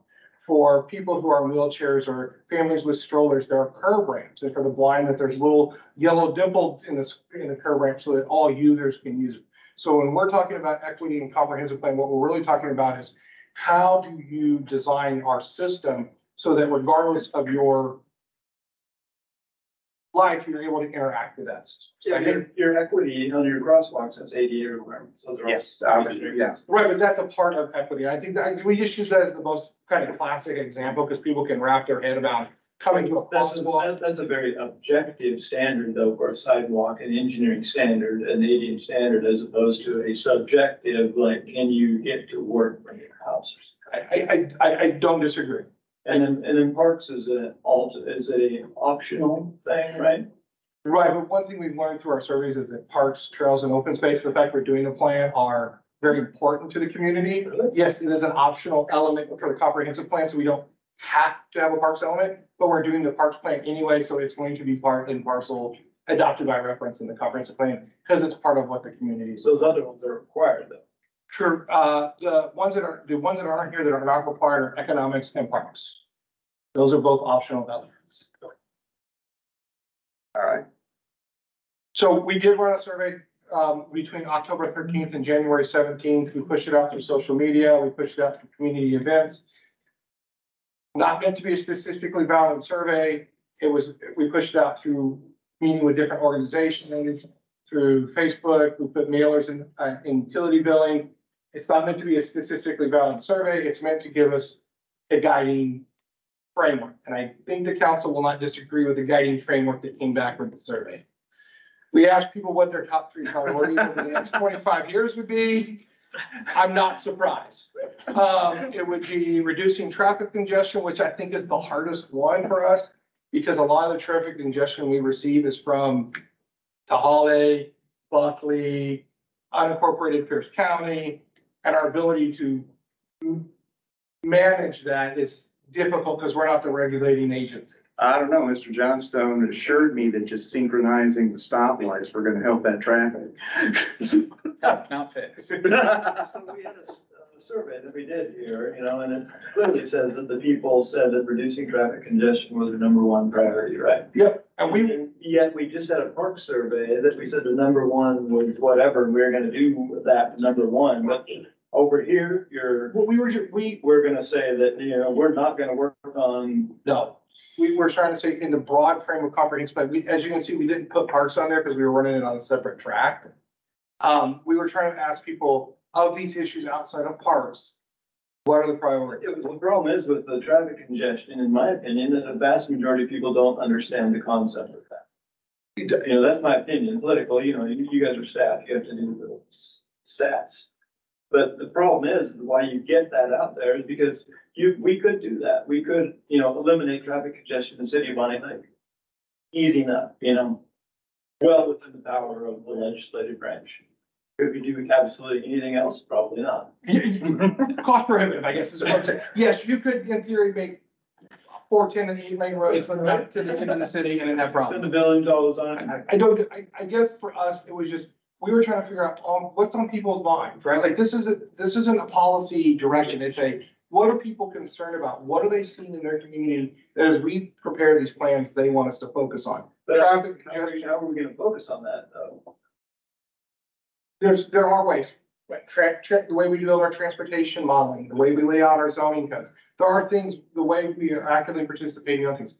We weren't trying to get into the solutions tonight. We were just trying to say, as we set our true north compass for this update, where are we gonna spend the majority of our resources and efforts? It's going to be, how do we look at traffic congestion, single family neighborhoods, ability to bike and walk that goes right along with what we saw in the trail survey, as, as trails becoming the highest thing. Uh, you see the next here was public transportation, inclusivity, economic development. And then the bottom tier was environment, affordable housing, and pre- historical preservation. We're gonna focus on all of these, but that's what the community is on the top of their mind. If you ask me right now, these are the issues that they're seeing day to day, and we wanted to reflect that. We also asked people to just tell us what Bonney looks like, like in twenty forty-nine. Um, and I'm not seeing a lot of things that are different from what we've heard. Um, they would like us to have a slower growth rate, have a small town feel. Um, they want some tree protection, uh, less traffic. So these are not meant to be policy, like you say, they're not meant to be, this is the policy. This is meant to say, this is what people, data points, as I think, uh, Councilmember McClimans like to say. These are data points of what are people, are on people's mind, and it needs to be on staff's mind as we prepare policy, as we do modeling, as we pro- provide policy to the council. We also ask kind of, how do we increase home ownership? Right, what, what different housing options would you support? Um, and as you can see, single family scored high, and I'm not surprised. Um, but also townhomes and cottages scored, came in kind of second and third. So it's in, how do, we as we set policy, as we look at our zoning, how do we help support development of cottages and townhomes that provide a lower cost point for home ownership? And comply with growth management. And comply with growth management. Act. Right. So we were trying to find out, how do we find those housing types that work for the community, but also meet those state and We don't know what the scale looks like here though, so this is gonna be kind of weird. And If you what, could Have, you know, nine thousand people saying single family and twelve. and the re, and the reason we didn't put the percentages on it because they won't act on hundred percent, because you can select all or one. So one person could have selected yes for everyone, or they could have selected one. So once again, we're trying, this, that's why I said it's not a statistically valid survey. It is a, what, what are the trends we are seeing as a trend line? And the, the trend lines are not far from what we expected, which is, which is good. It was a way to kind of test some theories we had. Um, and the same with transportation improvements, sidewalks, crosswalks, as, as Steve was saying, we're seeing a lot of correlation between what we're hearing in the trail of wanting people to walk and wanting people to have ability to walk. Um, we're seeing the same thing here, that trails, walking, improving signals are kind of on the top of people's minds as we talked about transportation outside of fixing the traffic. This was the one that we were most interested to see what would happen. And no, we didn't give you percentages because once again, we're just looking at order of magnitude. We asked people where they would support residential development in the city. And overwhelmingly, they picked area E and area C, which is the Sky Island neighborhood, and area B, which is kind of the downtown. Or is all of that south of four ten or, oh, no, you said, uh, area B. Area B is north of four ten. Okay. We think that C and B kind of got some double votes because the downtown splits bo- both sides of four ten. Um, so one thing, if we could have done it better, we would have split that area out a little bit better. But we also can see that people really are trying to limit the future growth in areas A and D. Once again, trend lines, what's on people's mind, what are the public telling us? So that's how we're going into this next part of the presentation, understanding what people are saying, what they want. Slow growth. Less traffic congestion, and also our requirements under the Growth Management Act and, um, the Pierce County, or the Puget Sound Regional Council. And I will say this, Councilman McClimans, one of the things I think that's different between the Growth Management Act and Vision twenty fifty is for us, at least here in the city, um, Vision twenty fifty actually expects the city of Violent to slow its growth. Um, the Puget Sound Regional Council stance is that the higher density housing, the real large population increases should occur around heavy rail, light rail, or bus BRT, not just out in every city. The Growth Management Act looks at Seattle, Buckley, Wilkeson, and Bonney Lake identically. There are no differentiation in those sizes of communities. So that's why I said, I think the Puget Sound Regional Council policies are a little bit more in line with how we see the growth going, and then trying to fit in with some of the requirements that we have from the Department of Commerce. So with that being said, and then I will wrap it up, and this, I think, is the part where we need some feedback from the council uh, on the end. Let me get to the last slide, because I know this is about to be controversial, so let me get to the last slide. And then I will take everything and just give me some direction. So both the Puget Sound Regional Council sets growth targets for the city, and so now does the Department of Commerce. The Puget Sound Regional Council treats their growth targets for our geography as a ceiling that we should not grow above. The Department of Commerce treats it as a capacity number that we have to have a minimum number of. So they're a little bit different in their application. We have to be able to show consistency with both. So the growth targets that Puget Sound Regional Council established are based on what they call regional geographies.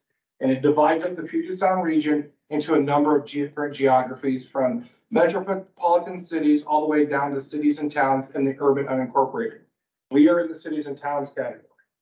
Under the regional growth strategy, we are to take less growth over time and have that growth occur in the metropolitan cities, high capacity transit communities and core cities.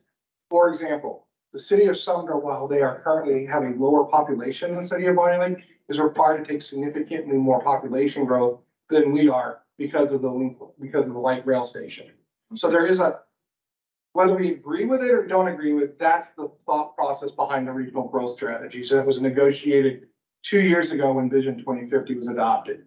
Um, the Puget Sound Regional Council did set a target specifically for the city. It set a target for all the cities and towns in Pierce County. Pierce County, in consultation with the city staff, worked on targets for each of the cities and towns in Pierce County, which include Bonney Lake, Buckley, Wilkeson, South Prairie, Edgewood, and I might miss one, but those were the main ones. Um, everybody else had their own categories and they were working through it. So that came through Pierce County in negotiation with the city. The Department of Commerce, due to some legislation change two years ago, for the first time established housing targets for the city. In the past, targets were based on total number of housing units. You need to have fifteen hundred housing units. You need to have thirty thousand housing units. It didn't look at how affordable or what those housing units cost. Due to changes in state law, the state legislature empowered commerce to establish housing targets for us based on income band. So you have to have enough housing affordable to these different income bands as they list here, zero to thirty, and PSA is just permanent supportive housing, zero to thirty, non-permanent supportive housing, thirty to 50, 50 to 80, 80 to one twenty, and one twenty and above. So we have to show that we have capacity for all of those different housing types. And as you can see, as you move down the affordability index, it moves from single family to higher density. So that is the requirement of the state. The state took our population number and our housing target and assigned us income banding based on those targets. So here is the way it works with just the overall targets. And the reason that we didn't put population all the way out is because that just kind of runs with housing and there's not really a developed regulation tied to population, but there are to jobs housing units. So our, our twenty forty-four growth target, and that's where we'll measure, measure compliance, is one thousand four hundred and fifty housing units. However, that was based on the number of housing units and our projected growth in twenty twenty. So any growth that occurred between twenty twenty and twenty twenty-three is subtracted from that one thousand four hundred and fifty housing units, because the base year of that is twenty twenty. We had about six hundred and eighty-two housing units. Um, we have about seven, we have seven thousand six hundred eighty housing, uh, unit target left between now and forty-four. Twenty forty-nine, because we're rolling the comp plan out, we straight lined it, so. Our order of compliance is forty-four. Based on our pipeline capacity, we have eight hundred twenty-eight housing units, eight hundred forty-six in zone capacity, giving us a negative number of nine hundred ninety-eight, which means we have excess capacity of about a thousand. On job, we have about excess capacity of eleven hundred, which means we have more capacity in the city than we need to meet our housing targets. This becomes a point at which the council can make legislative decisions. We're planning all of our road planning, street planning, sewer planning, parks planning is based on achieving our, our targets. So the higher you are above the targets, there's more capacity, there's more housing and development that could occur above your target, creating problems between what you're planning for building and what actually occurs. So there is the ability for the council to have some legislative change in that area to kind of deal with how we deal with that excess capacity.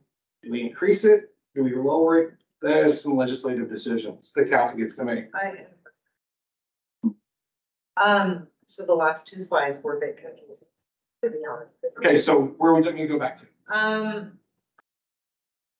This, this, first of all, it's, it, I have my contact lenses in and I can't see most of those books. That's the first. thing. Um, but secondly, I am looking at this like chart on the right hand side, attempting to understand it. And I just can't. I have looked at it and look, I don't know what So, that data is. so what it's displaying, this is from the Department of Commerce's website. Okay, And statewide, in the next twenty years, the state needs to add one point one million homes over the next twenty years okay, I, Across the I understand that. across the state. Okay, In the colored bars above uh-huh. are the number of housing units we have to add that are affordable to those different areas. Okay, so with statewide, you have to add three hundred and ten thousand single-family homes. Yes. You have to add two hundred, Well, no, we have to add three hundred and ten thousand homes that are affordable to those making hundred and twenty percent of the area median income. To be able to afford a single-family home. Those are, that's, that's how they're saying, that's their proxy for determining capacity. Okay, That most people who are making hundred and twenty percent of the area median income can buy single family homes. Below that, it gets harder. So the next bracket is those making between, kind of in the orange brown, is those making between fifty and hundred and twenty percent of the area median okay, income. yes. I'm- And that's where they start talking about that middle housing, the multiplexes being affordable to that. Is that why those pictures are above it? Because it's Yes. that's what they can afford? As a proxy, Oh, right? Like if you go down to downtown Seattle, condo is significantly more expensive than a Right. condo. Once again, we're trying, they're, they're trying to establish ways for us to demonstrate compliance. okay. And that is the proxy that they are using. But then on the next slide, you say, um, for housing units, this is just for Bonney Lake, is that what you're? This is just Bonney Lake stuff. Okay, so in the twenty forty-four growth target where you have one thousand four hundred fifty units, you're saying we have to meet that, that number, is that, not- and that's counting from now until twenty forty-four, correct? Correct. But aren't we already adding that with Tarragon alone? So Tarragon is six hundred and eighty-two housing. units. So then even subtract, but that would count towards that number. that's in the pipeline capacity. Per the current development agreement, the limit was six hundred and seventy-ish. I used to have it memorized, and I apologize, I don't have the exact point. But that is considered in that pipeline capacity. Under the current development agreement. So pipeline capacity is all the projects that we currently have in permitting that have not yet been built. Right, and that's why you're, how you're equating these negative numbers at the end. Correct. So the target is what we have to be. The, the 2020 2023 is growth that's already occurred. Right? Mhm. So units that we built between twenty twenty and twenty twenty-three that were not in existence when we set the target back in twenty twenty. That leaves your remaining target of seven hundred and sixty-eight housing units between today and twenty forty-four. We have eight hundred and twenty-eight in pipeline capacity, which would include the Tarragon project and other developments that we have in the city. We have a zone capacity for eight hundred and forty-six additional housing units, plus the ADUs. Um, which give, means that we have excess capacity of about a thousand housing units overall. So that's what I'm saying, so from a PSRC type standpoint, we're meeting their requirements. Gotcha. Okay. Now, before we move on, can you share with us how many Bonney Lake representatives are on the Puget Sound Regional Council? So the way the Puget Sound Regional Council works is it elects the representative that serves Pierce County through the Pierce County Regional Council. So there's one rep that represents the cities and towns in Pierce County, and I believe currently that person that was chosen by the people who serve on PCRC, which I think was Justin Evans and Councilmember Fulton. And now. And now Member Councilmember Roach. Roach and with an alternate, No, uh, no. Councilmember Hoover. No, Yes, they're on the Pierce County Regional Council. Pierce County. Yeah. Right, yeah, and I'm talking about the Puget And Sound. they, and they select the representative that goes up to the Puget Sound Regional Council. Okay, and So- do we have, and so my question is, do we have anybody that was, was Councilmember Evans, when he was there, was he on the Puget Sound Regional Council? He was initially. He did, he, when we did it in twenty fifteen, we were doing the comprehensive plan update. What about in the twenty twenties to twenty twenty-three? We had any representation? We, well, it depends, there was no one from the city that was. Let me, let me take a step back. There was no one from the city that chose to throw their name in the hat Mhm. at the Pierce Well, I'm County. not, I'm not asking the reason, I'm asking the number. How many do we have? One, And who is that? myself. And on the Puget Sound Regional? I serve on the Puget Sound Regional Staff Committee. I'm the co-chair of the Puget Sound Regional Staff Committee. Okay. So And that's what I want, yeah, We don't have the elected officials up there, but I am active in that organization, um, and, and one of the co-chairs, uh, of the regional staff committee. So that's all the planning directors and planning officials throughout the region. okay, So we do have representation, just not on the elected side. okay. Yeah, and that's what I wanted to know. I'm sorry, it. I didn't understand. Yes. So does the county have a representative that is on it? Pierce County? They have a representative, they get to send directly, and I believe it's Bruce Dammeier as the executive. Okay. And then they can, the county can also send a representative, um, from the county council to the growth management policy board, and then they have a staff planner that can be on it. Um, and right now that chair is empty. The staff people that are serving up there are myself, um, Tiffany Sanders from Lakewood, and then Kendall Walls from Puyallup. Deputy Mayor. Thank you, Mr. Mayor. Uh, and just so everybody understands, uh, the Puget Sound Regional Council typically has gone the King County's way, right? So Pierce County does have representation, but it is small. And so Pierce County typically gets run over as does Bonney Lake. Yeah, I asked, Smaller than Pierce County. So and the reason just so why I have a everyone particular, understands. yeah, I have particular, uh, I'm sorry to talk over, but, uh, flashbacks of the FEMA conference that I went to, uh, uh, back in May and coming in, and so I'm suffering a little bit of PTSD, uh, because of that. But what, what you mentioned is a very valid point in the fact that Bonney Lake and Wilkeson and, um, uh, Prairie Ridge, we're all considered the same on this council. Yeah. And in other words, we're thought of kind of as an afterthought. Well, they get to, it's, it's the same where it's like in King County too. The smaller city, there's, there's so many seats that get sent up, like the county, the county gets AC. Tacoma gets AC, Mhm. then there's a seat for the large cities. Um, so the large cities like Puyallup, uh, University Place, they select a representative to send up there. Right, And then a representative is sent up from the small cities and towns group. And for about four years, that was Councilmember Evans, representing both Bonney Lake, but also all the small towns and cities in Pierce County. and the, not to belabor the point, because, uh, the- and I've been doing this for the past two years, but the, but the thing about it is that people are assuming that we are a city of twenty thousand, when we're more than that, we're significantly more than that. Um, it, we're, we're well on the way to becoming over twenty-five thousand, and we're well on the way to getting to that thirty thousand, uh, mark to where we're gonna be, it, uh, put into a different category. Um, as far as what they consider, but right now we're not. I don't think we'll ever move out of our category under the current strategy. And the reason is, is because to move out of the cities and towns category, the one thing that we're going to have to have, uh, population, trans, it's a tram. We will have to have either BRT, light rail, or heavy rail to move up, because that's the next, that's their, as I said, PSRC's driving issue, that kind of how they differentiate, not just population. And, and, and that is theoretical, but that's not what's happening. People are moving up here without the light rail. I'm just explaining how the, the governmental structure is set up. So what do we do about getting them to recognize that? That people are moving up here without us having public transportation? I, I think the way that they're recognizing it is, is their policy direction to us is we need to slow our growth rate and push that growth. So we're telling people not to buy here because we have to slow our growth rate? That's a little, that, that's not realistic. Well, I,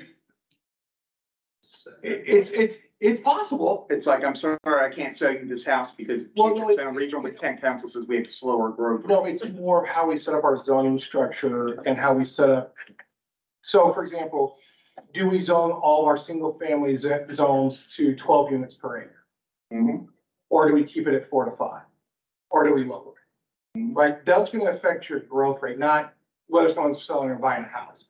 It's, does the council as a legislative body want to say all single family residential zones disappear and they're all multifamily zones, and so we want twelve units per acre? And we're talking about just in the Bonney Lake city limits. Bonney Lake ceilings. And do we not have a lot of unincorporated Pierce County, basically within Bonney Lake city limits?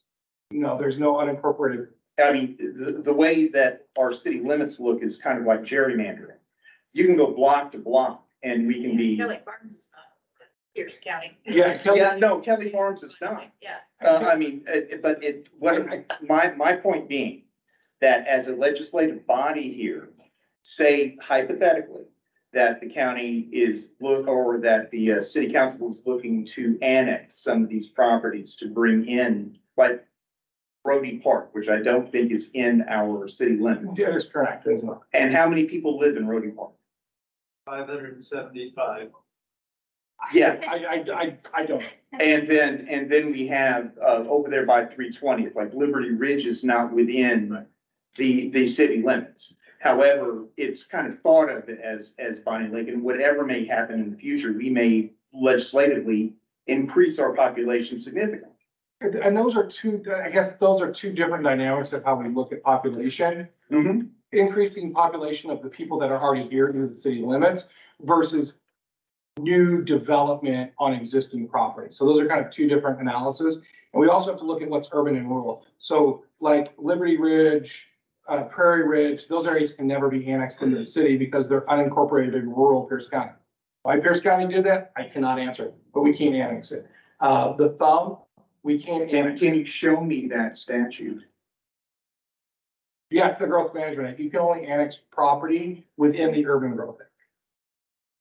Some, some, it's, you know. I can, get- I can, I don't have the, the, the exact, No, I'm not asking you to specific sign. I mean, la- later on, can you send me what you're referring to? Um, send it to me by email. yeah, there's a, there's a specific statute that says in order to annex areas, it has to be in the urban growth. area. Okay, and- and that's what I'm asking. Yeah, and we cannot establish the urban growth area, the urban growth area has to be established by Pierce County. Okay, Um, which is like the thumb, we can't annex because it's actually rural agricultural resource lands. see, that, that kind of steers my conversations with, uh, with Mr. Dammeier. When, you know, when we talk about this sort of thing, because we have. And, um, and so that, and I was just wondering, uh, Yeah. you know, about, uh, you know, what I'm limited with and what I can, uh, and what I can speak with about. Yeah, so one of the things we're working, and I can, I will gladly send you that, that ordinance, that, that, like, oh, Can I, can I say something? I, I really feel like we need to move on. This feels like a separate conversation that should be had. It is seven fifty. No, I do agree with Okay. Councilman Paul, uh, with Councilmember Paul, we can table this for a, for a different conversation. Mayor? How much, how much more Great. I pres- got two presentation? slides, and the last one is what I really need to. But I was Okay. the statute, RCW thirty-five A fourteen zero zero five, no code city located in a county in which urban growth areas have been designated under RCW thirty-six seventy-eight one ten, that's in the GMA, may annex territory beyond an urban growth. All right, thank you, Ms. Robinson. Okay, you're, uh, relieved of that duty. I just I just didn't have that code citation memorized, so thank you. Okay, let's move on. So this, I think, is the one where we're gonna have the most constant, the most issue, and that is the, the growth targets by income bands. And that's why I'm saying, let me get to this, because I think this is where we have the biggest challenge. So they took our fourteen hundred housing units that we have to add and broke it down by income band. So we have to show, when we adopt our comprehensive plan, that we have capacity for four hundred and fifty-six housing units that are affordable to those making less than fifty percent of the area median income. And in Pierce County, that is about sixty-something thousand dollars, sixty-eight thousand dollars. And we have to have about two hundred and fifty-three housing units for that, that's considered permanent supportive housing for those making zero, three hundred percent. We do not have to build them. We have to show that we have the zoned capacity using their proxy of density. And there's a couple ways we can do that. As you can see from this, when we take our current zoning capacity, our pipeline projects, we have more than enough capacity above fifty percent AMI in all the categories. One nice thing about the View by Vintage was it was built after twenty twenty, and all those units are sixty percent in AMI or less, so that meets our requirement for the fifty to eighty percent AMI. So that's why we're really looking at the fifty percent or less area median income. So it's not just building apartments at market rate, because those aren't affordable to zero to thirty percent, right? I looked at rents in Bonney Lake, they are currently more than my mortgage. So Oh, yeah. market rate apartments don't necessarily just solve the problem. Uh, This is, I think, Council, Councilmember Roach has a question. Oh, well, you might be answering that, but the, so you just said the zero to thirty percent we don't need to worry about because they're already. big. no, the, the fifty, the fifty to eighty. Okay, The so I guess my question on zero to thirty, how do we, how do you get there? I mean, that's, that just section eight? It could, it could, there's a lot of different strategies. Or middle income housing? Middle income, well, th- when you get down to this level, you're really talking about other strategies. Okay, And that's what I was saying is, out on the next slide, I'll kind of get to those kind of two ways you can do it. And I just wanted to kind of give the council kind of how we're approaching this problem to see how the council wants us to look at it. So as part of our comprehensive plan, we're gonna be looking at three alternatives that are gonna inform our environmental impact statement analysis. Um, and also kind of the future land use map and zoning map that we bring back to the council at the end of the year. Many more conversations to have here. These are, if you went bowling, these are our sideboards that we're gonna be using. So if you don't like the sideboards, please let me know tonight. Cause this is gonna set what we do. for don't the get to next the year. Um, not that you're happy about it, but these are the sideboards and we can be anywhere between these sideboards. So the no action alternative we always have, which is just our current zoning, we know it doesn't work, um, because it provides insufficient capacity for the income bands. So we know we have to have an alternative. We've developed two alternative. One of them is stay the course.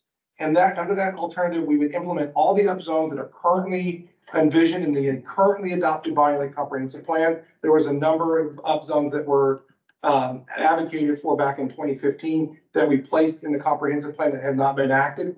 We would just enact all of those. Um, it would provide significantly more capacity than we need, which creates its problem from streets and planning and other capital improvement planning items. And I think it's inconsistent with those roadmaps that we are getting from the, the, the survey. It would likely provide sufficient capacity for income bands because we can show we have capacity in those higher density categories. Not guarantee that we can get the units, which creates problems in the future. Because in ten years, we're gonna have to do this again, and if we, all that area we zoned for high density housing got built with market rate housing, we would still have the same income band, and it would get, the areas that we would have to work with become narrower and narrower. Alternative two is working within the Puget Sound Regional's concept of bending the trend to slow the overall growth rate of the city to a slower rate. Under that, we would do some targeted down zone to reduce our overall capacity, because that's the way we can address, we can address transportation and some of those guiding principles that we saw from the, the community with slower growth, small community, keeping neighborhoods closer. We would focus that growth in the downtown center, um, which is a, which is a countywide growth center. Um, the prime area for that, in which we have to have these conversations with council that we'd be evaluating, is the old, all the property that the city bought over here for a future city hall building. There's an option there to be able to provide housing on that, which is closer to transit in the downtown center, um, and work with a private developer to be able to, Residential on top and perhaps businesses on the bottom? correct. Okay. Uh, and also looking at how we develop housing in Midtown. Under been the trend, we would reduce, um, the allowed maximum density in our higher density zones like R three, downtown commercial, uh, downtown mixed use. But we would inject a density bonus if you provide housing that's affordable in those affordable housing groups. So to get to a higher density, you would have to show that you're providing at a certain ratio, one to two, two to one, specifics are still being worked out. So like what they did in Salishan. I, On thirty-eighth and Portland Avenue. I don't, I think that was all section eight housing.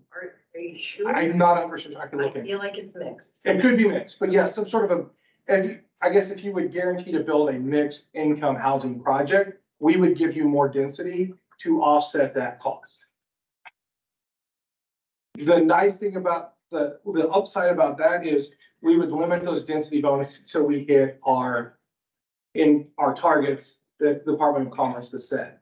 So, once we get to X number of units, we can remove those, those, those density bonuses because we've met our requirements in the growth management act. So are we saying we can allow businesses to add up?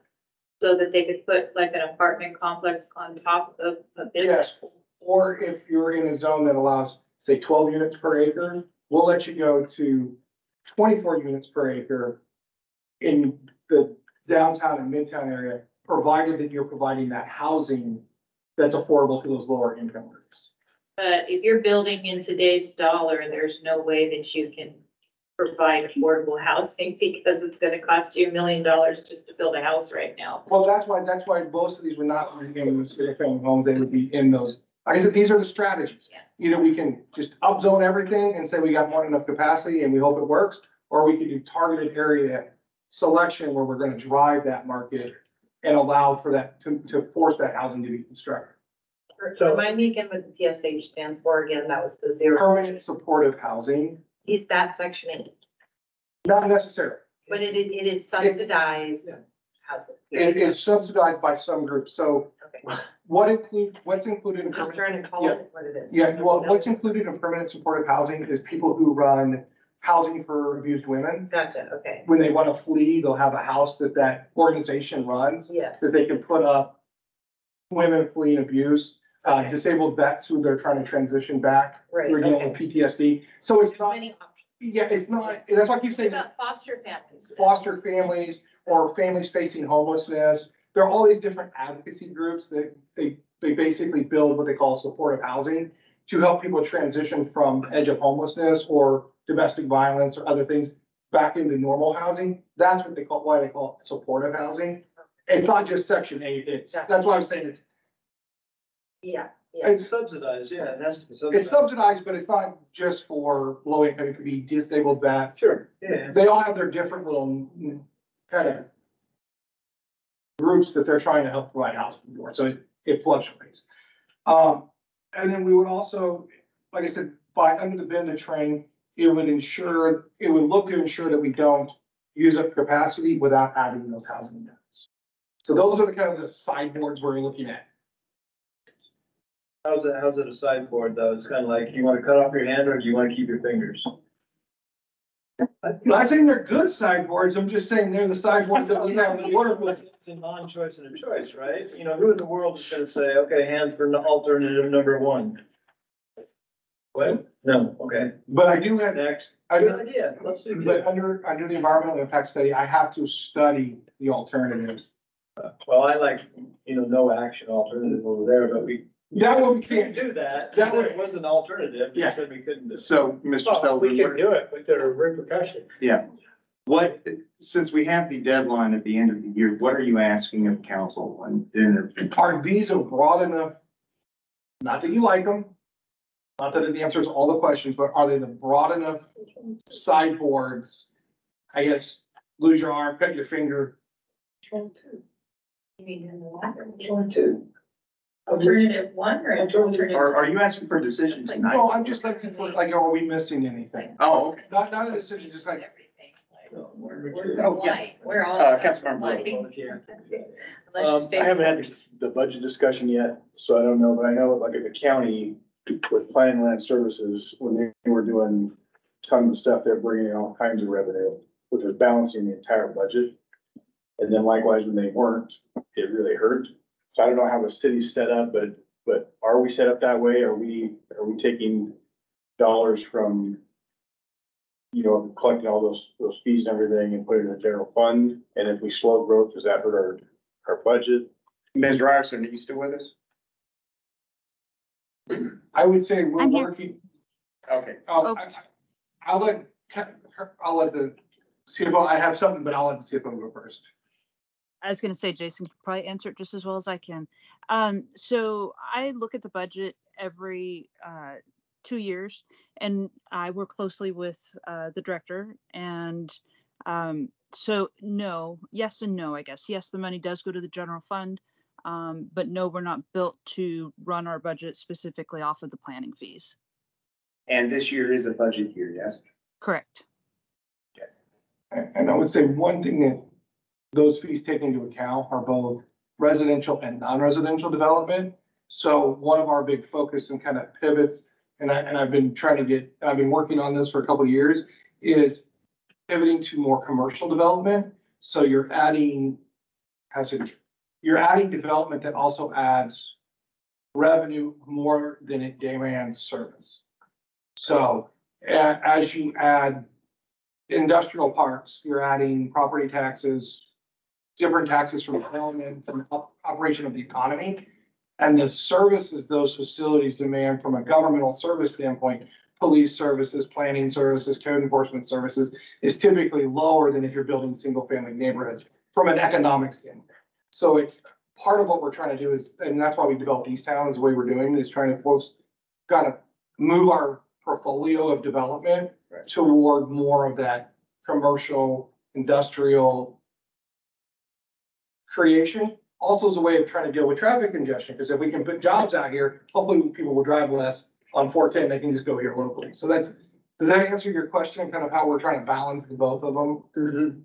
How does, uh, developing the industrial area help with the growth management that we're having to provide housing?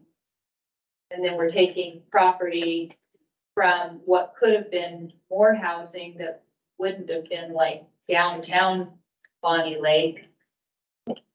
But we're adding structured businesses. So yeah, income, I guess, for people who want to drive to work in Bonney Lake, but how does, does that take away from the property that we have left? We have very little property left actually to develop homes.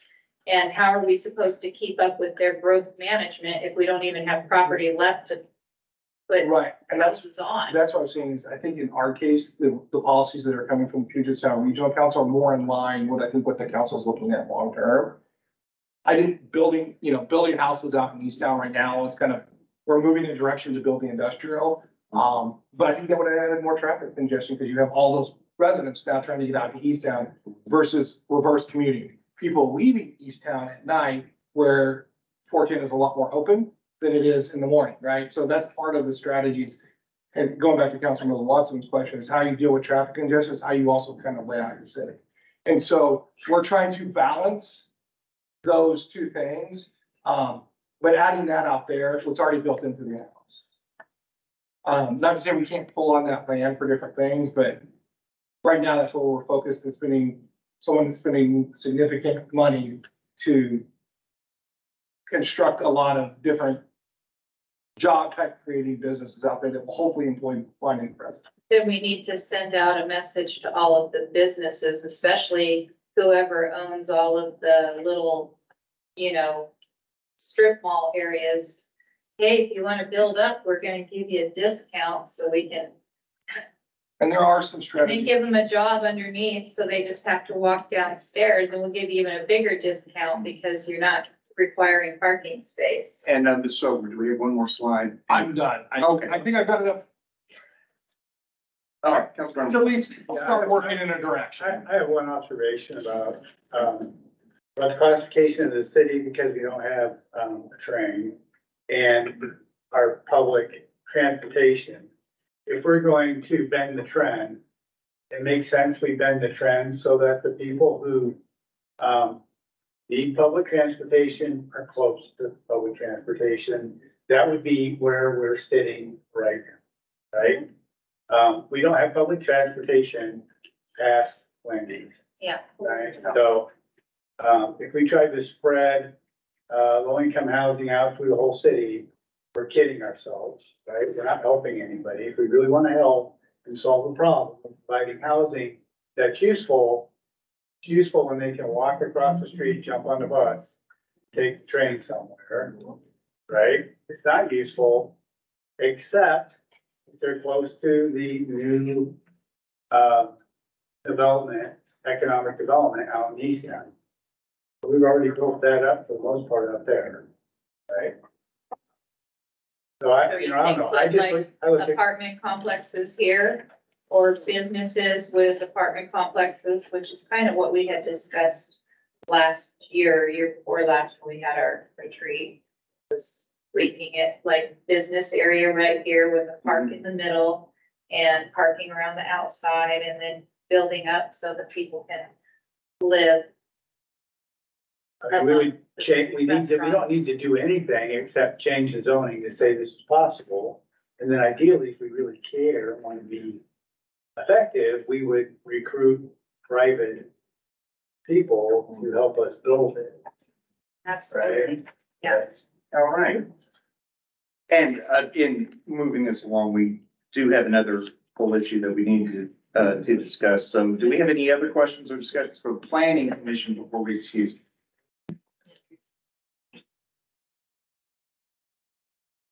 I'm going to take that silence as a no.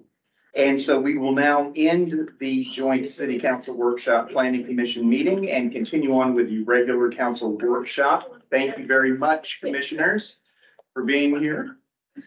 Thank you for your time. Appreciate Yes. it. And be very careful getting home. I'm hoping that the weather people were wrong.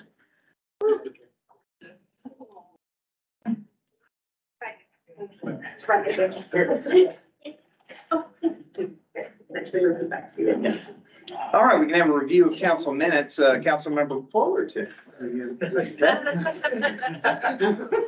I, I have a few changes and I believe those were made. I sent this to Candace. Okay.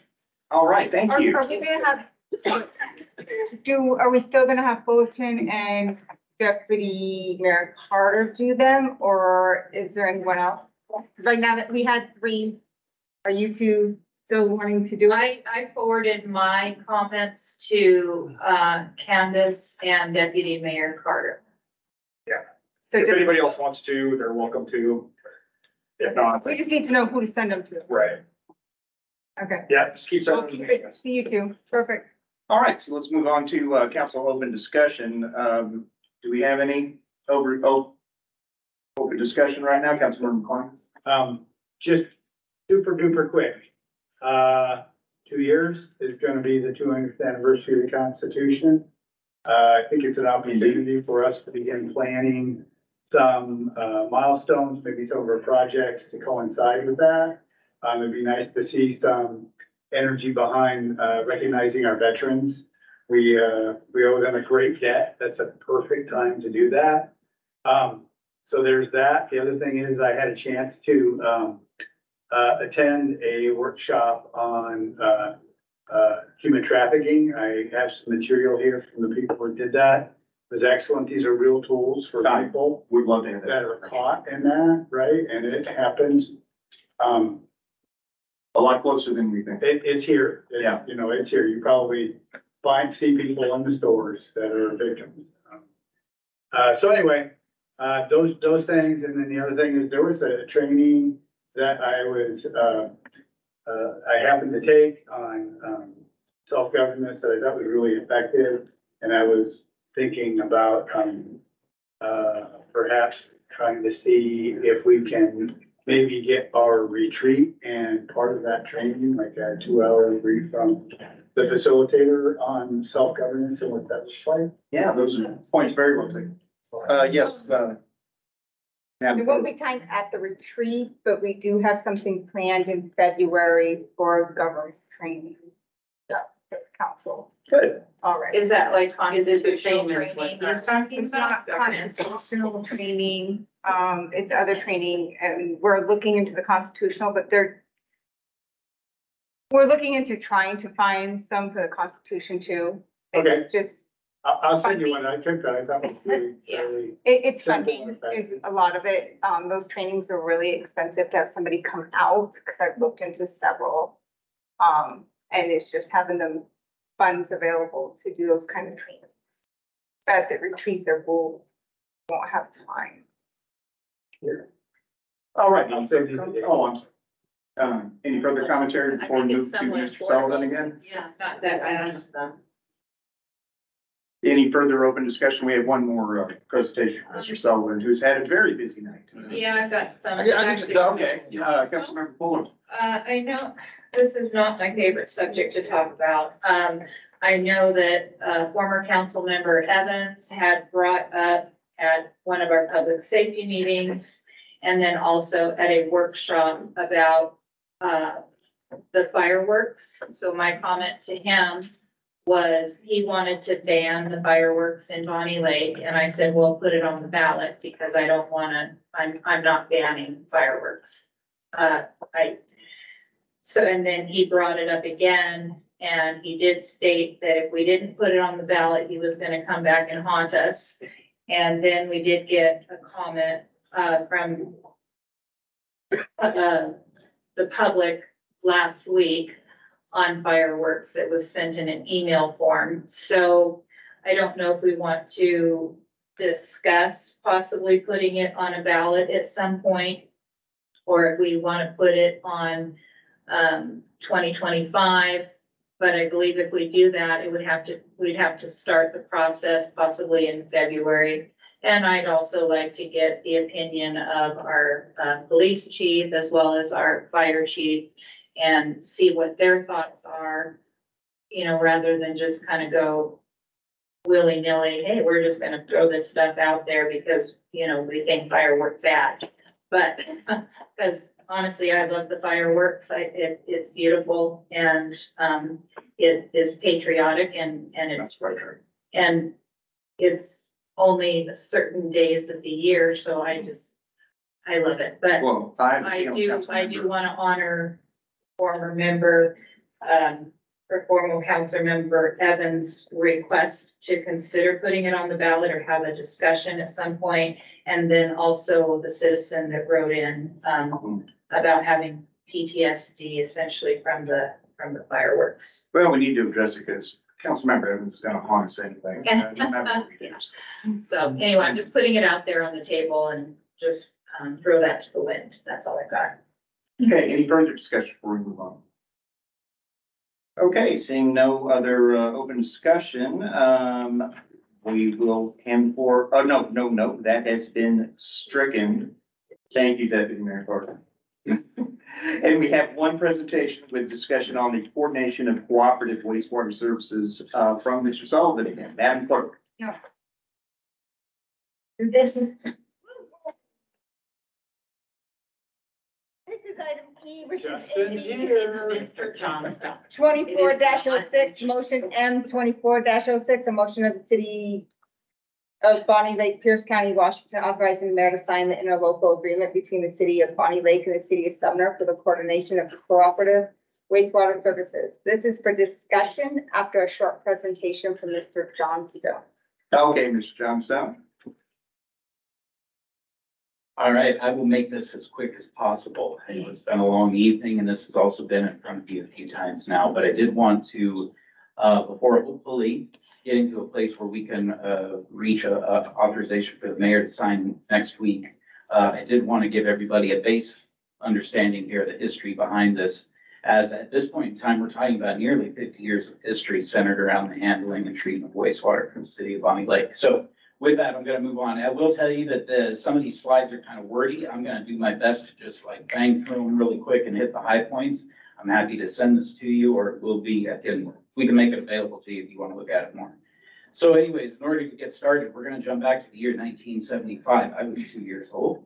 And during that time, uh, Bonney Lake, Pierce County and South Hill Sewer District inter, uh, executed an interlocal to develop a facilities plan that out, would outline how to meet their regional wastewater goals. Uh, they received federal and state funds to get this plan done, and off they went. Uh, in nineteen seventy-seven, that plan was completed. Some interesting, uh, subject matter in there is that they picked a site for construction of a regional wastewater treatment facility that would discharge into the Puyallup River. Uh, that plan was actually approved, uh, by the County Board of Commissioners and the EPA in, in, later in that year. During the same time, the city started working on the construction of the sewer system, collection system infrastructure. Um, and, uh, additional grant funds were obtained to, to construct that. However, we hit a little bit of a snag when, uh, the county planning coun uh, commission denied an unclassified use permit for the proposed wastewater treatment facility was to be built down in the Alderton area, and the project started to skid to a, uh, a stop. Uh, in response to that, in nineteen seventy-nine, that facility plan was completed two years earlier, was amended to include addendum three. Uh, and the highlight of that is that this is where the decision was made, that conveyance of the city's wastewater, city of Bonney Lake will go to the Sumner wastewater treatment facility. Uh, in addition to that, it would also include, uh, what was recommended was construction of gravity transmission main that would extend between the two cities. This was approved by the County Board of Commissioners and the EPA in nineteen seventy-nine. Following year, Bonney Lake, Sumner, Pierce County, and the South Hill Sewer District executed an additional uh, ILA, which would provide for the design, construction, and operation of the expanded plant. So obviously, the plant at Sumner needed to get bigger in order to treat that extra wastewater. So that was the direction here in nineteen eighty. However, later in that year, the EPA and Ecology changed their grant requirements to require a larger local match. And because of that, uh, uh, Pierce County withdrew its participation from the project. They were a key member of the team at that time. And so that created an issue. What that prompted was the city to, uh, uh, to start a planning effort locally to figure out what are other ways that we can handle our and dispose of our own wastewater.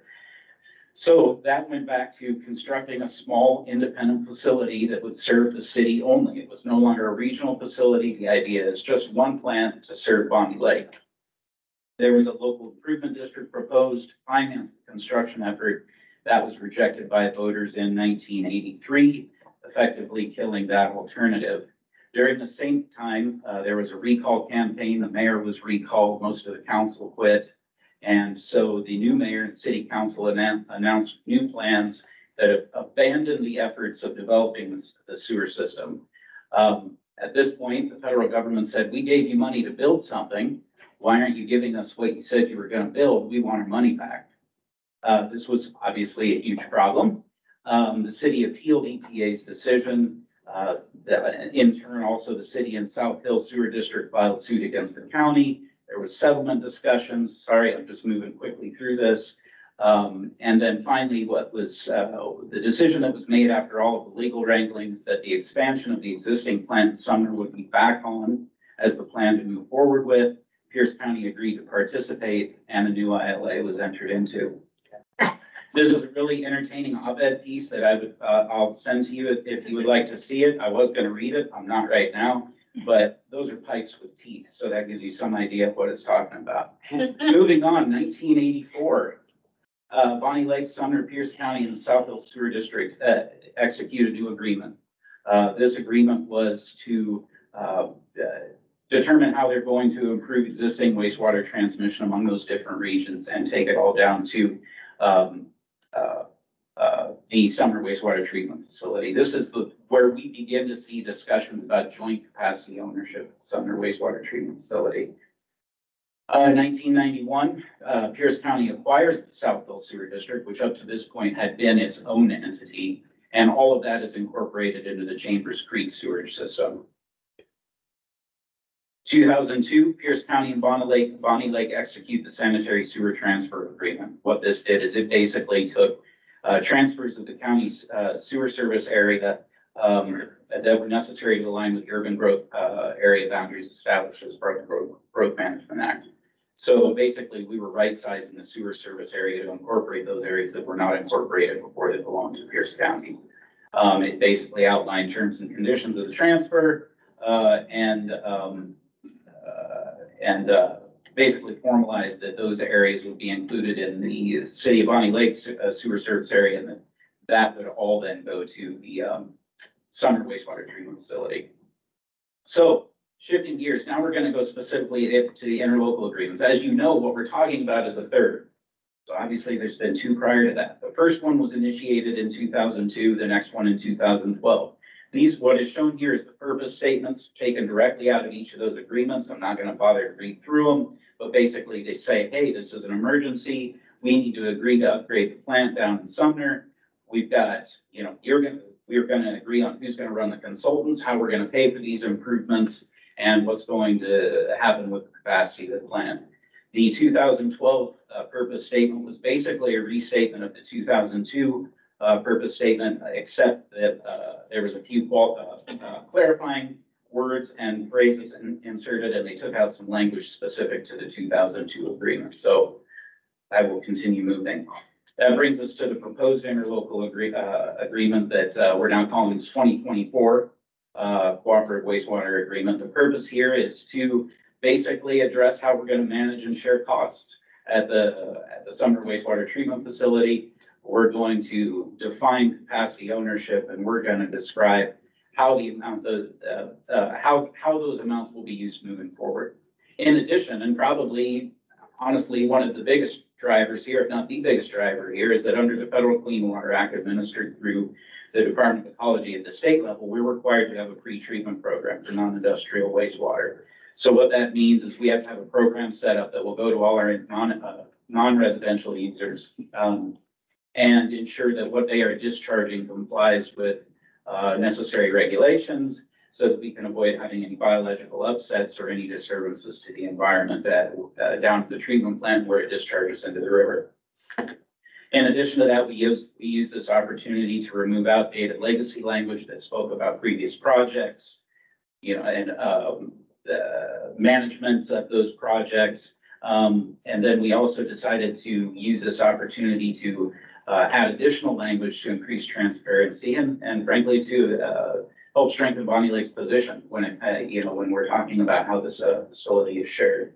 These were things that were not included in the previous ILA. So what changed?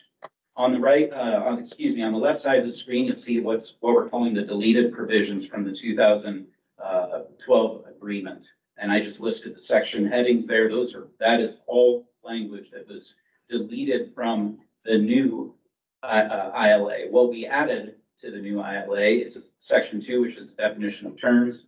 Section three, we actually specify a mandatory review period every five years that the agreement must be reviewed. Uh, looks like I got my section numbers backwards here, but I'll go ahead and jump to section five, which says uh, joint facility operations and maintenance. We clarify capacity ownership, management, consultant responsibilities, and we have the new pre-treatment program in there. Section four, administration. We increase the number of council seats on the joint advisory committee to three from one. We create a technical working group at the staff level which will be responsible for reviewing many things, including any expenses that come up that could be, or that would be more than hundred thousand dollars. The technical working group will make recommendations to the joint advisory committee as needed, uh, and when necessary. Uh, section six, cost sharing. We actually went into the details regarding how budget is set, how billing is to occur, how it's calculated, uh, how we go about planning for capital, uh, and compliance improvements, and how we're going to handle unbudgeted major operating expenses. And then finally, we have now an, an actual termination clause in there, which at this point, the notice of termination has a ten-year advance notice requirement. However, we still see that as advantage considering there was nothing like that in the previous agreement. So the city of Bonney Lake does have the option now to be able to say, hey, here's our ten-year notice, we're out. And the reason that ten years was set is because right now at the staff level, we believe that's reasonable for the time it would take to get permitting, financing together, design, and actually construct an alternative treatment plan to what we're currently using in Sumner. So what happens if the new ILA is not approved? Um, I, I, I pointed Councilmember McClimans, it's this, that's his question. Uh, so it's, it's, if it's not approved, we continue to, uh, work under the terms of the previous ILA. Uh, however, we will need to come forward with a secondary agreement, if you will, that would govern or would, would establish the pre-treatment program. The pre-treatment program is required by law. We have no flexibility there. And so we would need to continue to that part of all of this to move forward. Um, and then also if it's not, if this new, uh, ILA is not approved, the new provisions that we tried to get in there to, uh, you know, to, to create greater engagement, uh, transparency, uh, and accountability will not be part of the agreement. So we won't have those things. We won't have the termination clause. We won't have the mandatory five-year review period. We won't have some of those other things that make this new agreement, uh, uh, much better. What happens if it is approved? Uh, the new ILA takes effect. The city council will need to appoint three members to the joint advisory committee. Uh, we will start a meeting with Sumner staff as part of the technical working group. Uh, and the city will have greater ability to obtain records and information about the facility and operations forward. And that is the end of my presentation. I'm happy to take questions. As I said, my desire is that this will be on the agenda for next week for authorization for the mayor to sign. And I have, as part of this, that uh, it could potentially go on the upcoming consent agenda, but the Councilmember Klein's um, and in just second guessing, this is, this is something you wouldn't want on the, uh, on the consent agenda. I didn't think so, so, um, we would, uh, in, instead of going through that and then having a modification, uh, can, Debbie, can we just put it on for a full one? Absolutely. Okay. Thank you. All right, thank you, uh, Mr. Johnstone. Do we have any questions at the moment for, uh, yes, Councilmember Ball? You, you said that was so fast. Are you saying you're tabling this so that we can talk more about this? I thought No. you said it was fine, sir. But you, the mayor has to sign it next week, I swear you. do. No, I, uh, the staff's recommendation would be that it would move forward for approval or, uh, for council's authorization for the mayor to sign next week, but if you choose to just have it for discussion. Just wait. so be it. Okay. Talking about signing next week. Yeah, he, he's talking about putting on full council issues rather than a consent. So in other words, that's, that's the difference. We would still vote essentially next. and have another discussion period available. But that's at the council level. I'll save these questions for next year. Well, that, that, what, the. I would ask for now. Yeah, Are you for real? Yeah. I know, that's why I told you, I, you're trying to table this thing again, because it's for I know. full discussion, but it's like, I don't even, I don't even know. But, you know, because I think that, um, in my mind, you know, Councilmember, uh, McClellan said one of the most excellent points that I've heard in a long time was about no levers and dials, so.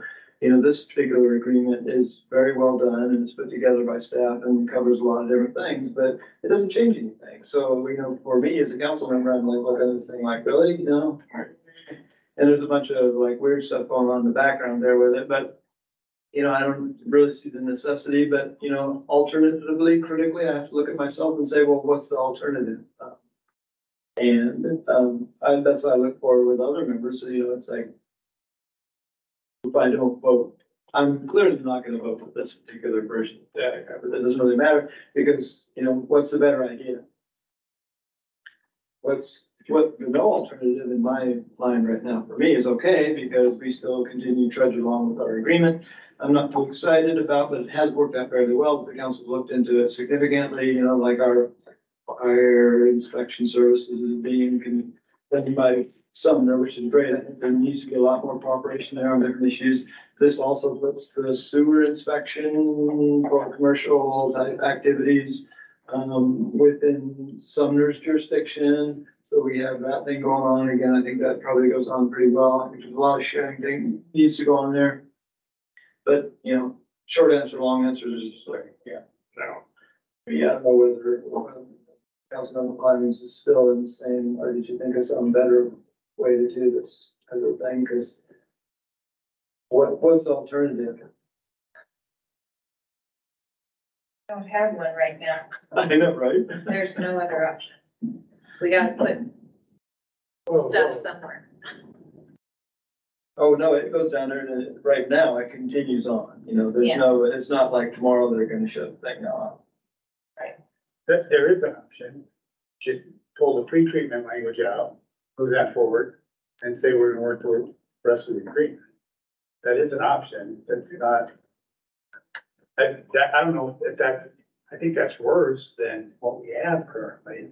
But we have to, you know, there, yeah, we look at this and, um. That, yeah, I'm still uncomfortable with it as well, as, as council member Swatman, so, um. now, Mr. Johnstone, if you could just Mr. make it, John- Credit, to Mr. Johnson's credit, they've worked really hard on this and they have, um, uh, uh, along the council to try to give us mechanisms, right? Come a long way. But, but, you know, are they, are they affected? and what are the, what, what I don't have in my mind is the, the, the, no- I'm looking for knobs and dials to help us ensure that for, um, our utility rates, and our utility system, that we have dials, that is visibility into the system, at why it's expensive, and knobs to help us control those expenses going forward.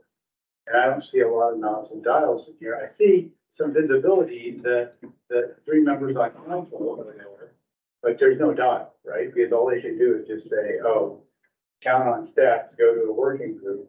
And Sumner can still decide they're gonna do what they want do. There's nothing, we, and if they do something we don't agree with, then we can give them a ten year notice. Right.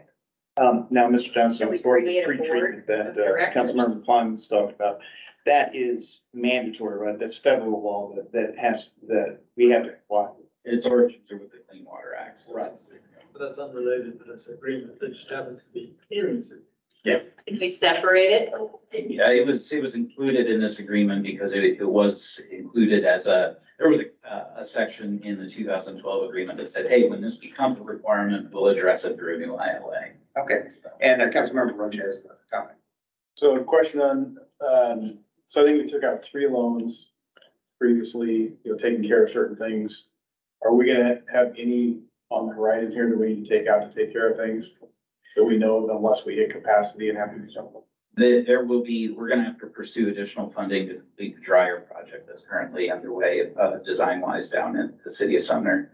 Uh, and right now, uh, I'd have to uh, have Sumner, uh, at our, our team, our engineering team that's been meeting with them confirm. But I think that that upgrade is somewhere around a thirteen million dollar project total. Thirteen million. So, and that's coming up in, they're working on it right now, so. They're working on it right now. Um, I'd have to get a debrief from my engineering folks, but I think they're getting ready to go through a pre-procurement process for some of the equipment. Um, I would anticipate, I believe we, s- we're talking construction in twenty-five. So you're, Yeah, so. So when we get to that point where we've got to borrow the thirteen million dollars, is that a split? So we would, We would be, bu- we would be borrowing a portion of that. I believe we'd be bar- uh, borrowing fifty-four percent of that. based on, on usage. It's based on our capacity ownership. right, so when that happens, if it follows what the other twenty year loans were, we're gonna have an additional probably three hundred thousand a year. I, I hesitate to say exactly what it would be, but yes, there will be additional debt service to be paid towards that, because what we're, the mechanism that we're planning on doing is similar to what we've done with the city of Sumner in the past, to jointly pursue public works trust fund loans to complete the project. That's been the same vehicle that's been used previously to do the plan expansion projects. Okay. I'm just looking, I think you've done great work on this. I, I mean, I can't negotiate, but we're in a, we're not in a position where we're gonna negotiate this. It's been done for thirty years or whatever. And it is what it is, but I'm trying to look at, you know, reducing those costs. We talked about the, the pilot fees that are now done. So we are, we do have that money available each month. The first loan, I believe, is gonna come due in July, which is gonna free up more money. So potentially you could take that money to reduce rates, but it looks like we're gonna go right back into another loan that. I think it might be pretty much a wash, uh, that we will be paying off some debt service here before too long. Um, and, uh, Sherry can discuss this a little bit more. This is probably new for her since she's been away from the office. In the discussion you and I had, Councilmember Roach, but, um, there, there is some debt service coming off. There, I believe there was three that I sent you.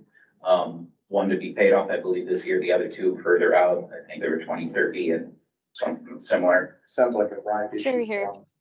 Treat if we're doing it in May, this is coming up in July. Yeah. Yeah.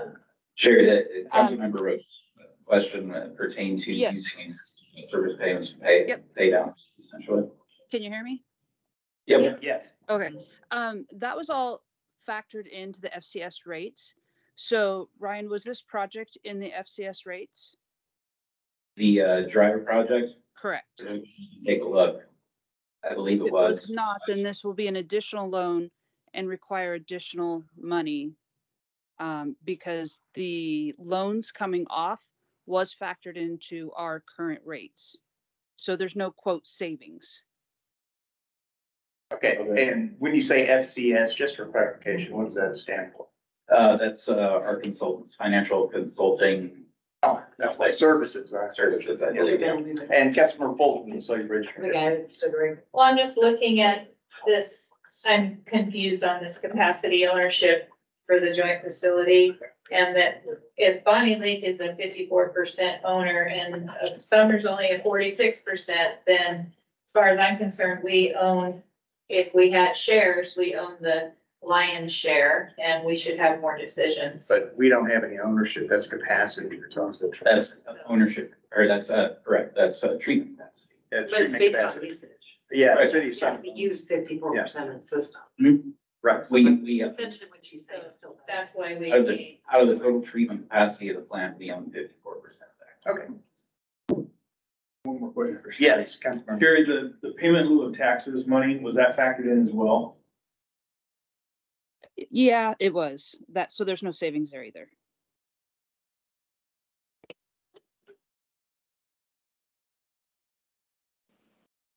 Okay.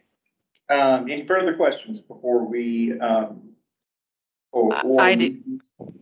I do. Sorry, guys. I know it's hard with me not being on screen. Um,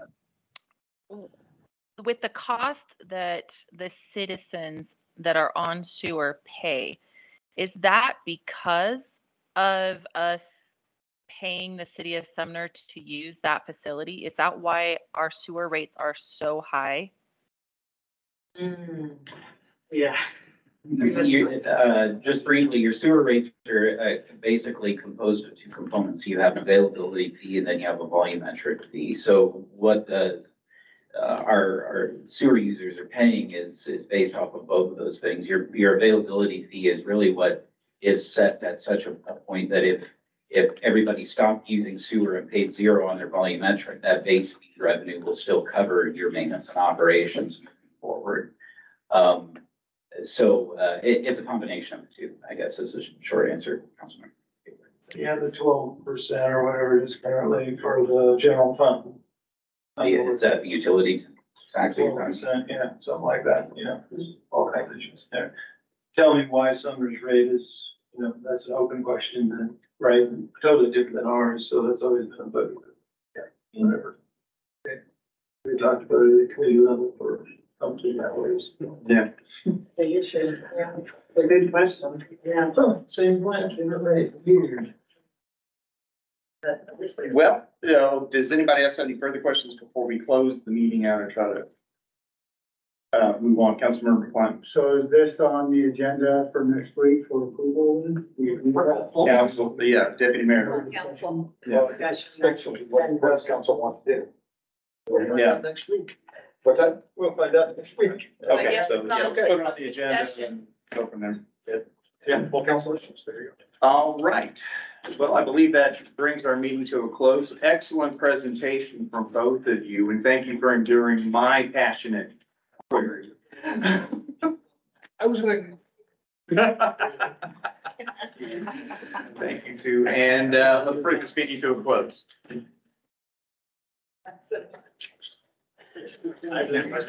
Now it's done.